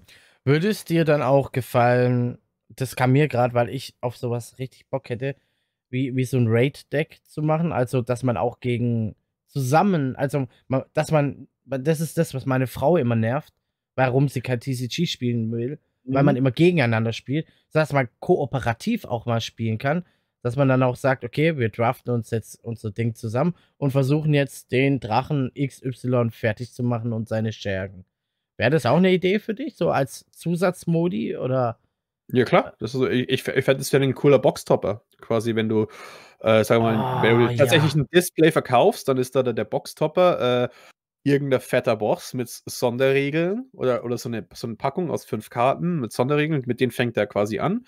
Und dann hast du noch so ein kleines Pamphlet drin und quasi, hey, du kaufst dir ein Display, damit bekommst du halt quasi die Bossregeln und die extra Bosskarten dafür. Und das ist mehr oder weniger der Boxtopper dafür, wenn du dir ein ganzes Display kaufst. So ein Ah, äh, ja. Spiel, Spielmodus, äh, Spielmodus dafür dann, dass du einen Raid spielen kannst. Und dann hat, da, da kann halt jeder so seinen eigenen Charakter machen. Ähm, Quests fände ich, äh, ich, ich würde auch ganz gerne ein Quest-System wieder reinbringen, weil ähm, also, ich sag mal, Quests wären halt Karten, die du für eine Ressource spielen könntest. Ich glaube, man würde tatsächlich, ja, ich würde tatsächlich die Hearthstone-Mechanik nehmen für Mana. Blöd gesagt, Mhm. aber Dass es Aber dann- pro Zug eins mehr gibt. Genau, aber dann sage ich halt mal, du kannst eine Karte weglegen, eine Quest, du musst was erledigen und dann bekommst du vielleicht bekommst du in der Runde später einen Riesenbonus oder darfst dir eine Karte tutoren und direkt aufs Feld Mhm. und quasi equippen und so, oder sowas. Aber wenn du eine Quest spielst, kannst du, äh, fände ich es halt cool, wenn der Gegner die auch klauen kann oder verhindern kann. Quasi, wenn er die completet, Mhm. dann ist sie weg. Ja, ja, das ist auch cool. Ja, und da kommt dann wieder der kompetitive Gedanke, okay, mein Deck sieht darauf aus, dass mein Gegner keine Quest machen kann und ich dafür Benefit kriege. Genau. Ja, Genau, cool. so. Man, man, man, man, kämpft, man kämpft ja dagegen, aber dann ist halt so, okay, ich muss, äh, ich muss diese Runde ähm, drei äh, oder einen, Ge- äh, oder einen ich, ich spiele die Karte und muss eine Summon zerstören oder sowas. Oder muss Mhm. einen, oder muss einen Helden so und so viel Schaden machen. Dann ist halt der andere, hey, ich block das ab, du hast es nicht geschafft, aber ich schaff's jetzt. jetzt. Klau dir Ja. quasi den Quest Reward, also kriegst du nix. Ja, ist schon cool. schon cool. Würdest du dann auch so fliegende Kreaturen haben? Oder also so, die dann Ich nur von Dings geblockt werden können, weißt du, so wie, okay, ich habe jetzt hier einen Adler als Companion und Äh, der ich- fliegt jetzt und kann ich nicht würd von dir geblockt werden. Ich würde tatsächlich wirklich viel, sehr viel auf diesen Heldenkampf auslegen. Ich würde Mhm. Beschwörungen Teil von Klassen machen. Also ich würde sagen, äh, Mhm. Jäger kann ein Monster beschwören oder so. Mhm. Dann Hexenmeister, Necromancer kann mehr beschwören. Also quasi, dass, äh, dass Kreaturen effektiv Waffen sind oder Ext äh, Extensions von einem selbst. Okay. Oder ich sage mal. Äh, aber ich würde ich würd nicht jeden, ich würde tatsächlich nicht jeden erlauben, überhaupt Minions beschwören zu können. Ja, okay. Also zum Beispiel, zum Beispiel, wenn ich einen Warrior designen würde oder eine Warrior-Klasse, dann würde ich den halt rundherum, dass es, so, dass es sich so schnell equippen kann wie möglich. Also quasi Mhm. der wird halt, der wird halt Quests und Karten bekommen, wenn du einen Warrior spielst, der äh, Ausrüstung ver, äh, verringert oder wo er sich selbst schmieden kann. Oder oh, sowas. krass. Oder- Und wenn, Ja. und, wenn er Schur und, und wenn du einen Schurke hast, dann würde ich den quasi eine, so, sowas wie eine Quest geben, wo, ähm, äh, wo du wählst quasi einen Helden und darfst dir ein Equipment oder ein Piece aus deinem Deck suchen und direkt an ihn ausrüsten, das du noch nicht ausgerüstet hast. So, Mhm, und dann ist mhm. halt der Rogue, der sich effektiv auch was klaut. So, ha, der andere macht Schwerter, ich klau mir ein Schwert von Ja, seiner. ja, ja, das ist cool. Ähm, ich glaube, ich würde dann auch gucken, dass halt, dass du auch charakter- oder klassenspezifisch äh, Waffen zur Verfügung stellst, weil was will ein Krieger mit einem Zauberstab so in der Art? Ja. Äh, der kann damit ja Ja. nichts anfangen. Aber, aber deswegen habe ich ja gemeint, du machst dir eine Party. Ich würde Mhm. Ich- Ich, es ist bloß ein Spiel, das halt erstmal so im Äther, quasi in so, Ja, einer, ja. in so einer Brainstorming-Session existiert. Aber was ich halt cool finde, wäre so drei gegen drei. So, hey, du hast eine Gruppe aus allen Kriegern, die buffen sich gegenseitig halt ziemlich hart, aber ja. können halt, ich sag mal, es gibt halt sehr viele Legendaries und Legendaries würde ich zum Beispiel auf eins pro Deck tatsächlich ersetzen. Oder du, du hast halt eine well-balanced Party, sag ich mal. Und dann ist halt der Zauberer. Klar, du hast vielleicht einen Zauberstab gezogen, aber der Warrior macht es ja trotzdem günstiger. Und dann kann der, der Warrior zum Beispiel den Zauberstab nehmen, günstiger. Und vielleicht kann, du, kannst du das dann umequippen. Also, dass du halt Ah, jemanden, auf den du mhm. alles hast. Und dann, sagen wir mal, ein Schurke und ein Schurke kann um, umequippen. Und dann hast du so Kombis, sage mal, hey, du kannst den Zauberstab günstig ausspielen, der Schurke gibt es dann den, äh, den Zauberer und dass du so cool, ja. umgehst. Ja. Ja, klingt schon cool. Ah, Mensch, Freddy, ich kann mit dir st- stundenlang labern. Wir, wir sind jetzt echt schon. Also jetzt müssen wir aufhören, sonst werden wir, landen wir schon bei zwei Stunden, ey. Das ist halt, wenn man ohne Konzept einfach drauf loslabert. Aber ich habe mir gedacht, ey, wir, jedes Mal haben wir eigentlich nach dem Stream oder so gelabert und ich dachte, hey, das kann man doch, vielleicht will der eine oder andere, da würde da gern zuhören, deswegen. Ähm, Freddy, an dieser oder? Stelle, ja. Eine Sache noch, was auch noch ja. funktionieren würde, ist dieses System in Gundam. Habe ich dich jetzt? Ja! Wenn du ja! den Gundam Unicorn und, den, und Ding deine ja! eigenen Gundams abrüstest und so. Und du hast Piloten, die dann ja. in den Gundam kommen und je nachdem kann der Pilot halt steuert er den Gundam anders und du kannst den Gundam anders ausrüsten und oh mein Gott, ja, mit Gundam hast du mich jetzt. Aber ich glaube, es gibt auch ein Gundam-Kartenspiel in Japan, aber äh, in Japan gibt es zu jedem Anime ein Kartenspiel. Also ja. Kann man eh vergessen. Ähm, ja, sick, Alter. Jetzt hast du mich mit Gundams oder so. So, ich könnte mir auch, auch so ein so Zukunft, so, so, so ein Zukunftsfantasy wie Warhammer vorstellen. Auch so, du hast dann halt deine, deine Fahrzeuge oder so, wo, die, wo du dann auch deine Leute reinsetzen kannst und die up upgraden kannst und sowas. Das können wir mhm. auch vorstellen. Oder halt als Partymechanik mit dazu, so in so einer postapokalyptischen, crazy Fantasy-Welt. Wobei in Warhammer ist es ja eigentlich tatsächlich wichtig, Squads zu haben. Also aus mehreren. Ja, da, da braucht man halt Armeen, genau. Aber ja. ja. Nee, schon geil. Schon geil. Jetzt hast du mich echt mit Gundam. Mit Gundam hast du mich da. da. mit Kaijus und Gundam kriegt man mich immer. Mhm. Ja. Nee, aber äh, Freddy, äh, es war mir wieder eine Riesenehre. Es ist mir immer eine Riesenehre, wenn du dir Zeit für mich nimmst. Ähm, ja, vielen Dank, dass du da warst und vielleicht hört ihr den Freddy irgendwann mal wieder in Zukunft. Ähm, mal schauen, ob es lang dauert oder wieder ganz schnell geht. vielleicht finden wir da ja was. Und ja, äh, jetzt seid ihr dran. So, jetzt seid ihr mal dran. Ähm, sagt's mir, sagt uns in den Kommentaren, was war eure erste TCG-Erfahrung? Ähm, was ist euer aktueller Stand? Wie war eure Reise? Ähm, spielt ihr noch aktiv oder nicht? Habt ihr was Neues angefangen? Guckt ihr euch Star Wars an oder nicht? Und äh, was findet ihr, was findet ihr besser? Magic oder Yu-Gi-Oh? Oder Star Wars oder, oder, oder, oder? Schreibt es einfach in die Kommentare. Würde mich echt interessieren, ähm, wie es bei euch so abgelaufen ist. Ähm, ob ihr auch Yu-Gi-Oh! auf Gras und äh, Dreck und Sandkasten gespielt habt. oder ob ihr, keine Ahnung, sofort der Crack wart. Ähm, lasst uns einfach oder, wissen. Oder ob ich euch irgendwelche komischen äh, alten Sachen wieder hervorgerufen habe, wie es, ja. keine Ahnung, das Harry Potter Kartenspiel oder das Simpsons Kartenspiel, was ihr ja. damals hattet. Ja. Und dann so, oh Gott, das hatte ich ja. Es gab auch ein Naruto-Kartenspiel, soviel ich weiß. Oder kennst du, kennst du damals, damals waren auch Porks, kennst du Porks noch? Das waren so runde Chips und du hattest dann so Metallmünzen und du musst die irgendwie draufhauen mm. und die, die runterfallen, durfst du einsammeln und so. Ach, es gab so viel crazy Kram. Ja, naja. Leute, es, es wird unendlich. Also in diesem Sinne, Freddy, vielen Dank nochmal an dich, dass du da warst und vielen Dank für euch fürs Zuhören, fürs Reinschauen. Und ich würde sagen, wir hören oder sehen uns oder hören uns, sehen uns. Genau. Uns. Äh, äh, genau, im nächsten Video, Podcast oder Livestream wieder. Und in diesem Sinne entlasse ich euch jetzt und wünsche euch noch einen schönen Tag, Abend oder Arbeitszeit oder was ihr auch immer tut. Und bis zum nächsten Mal. Also, ciao. Two.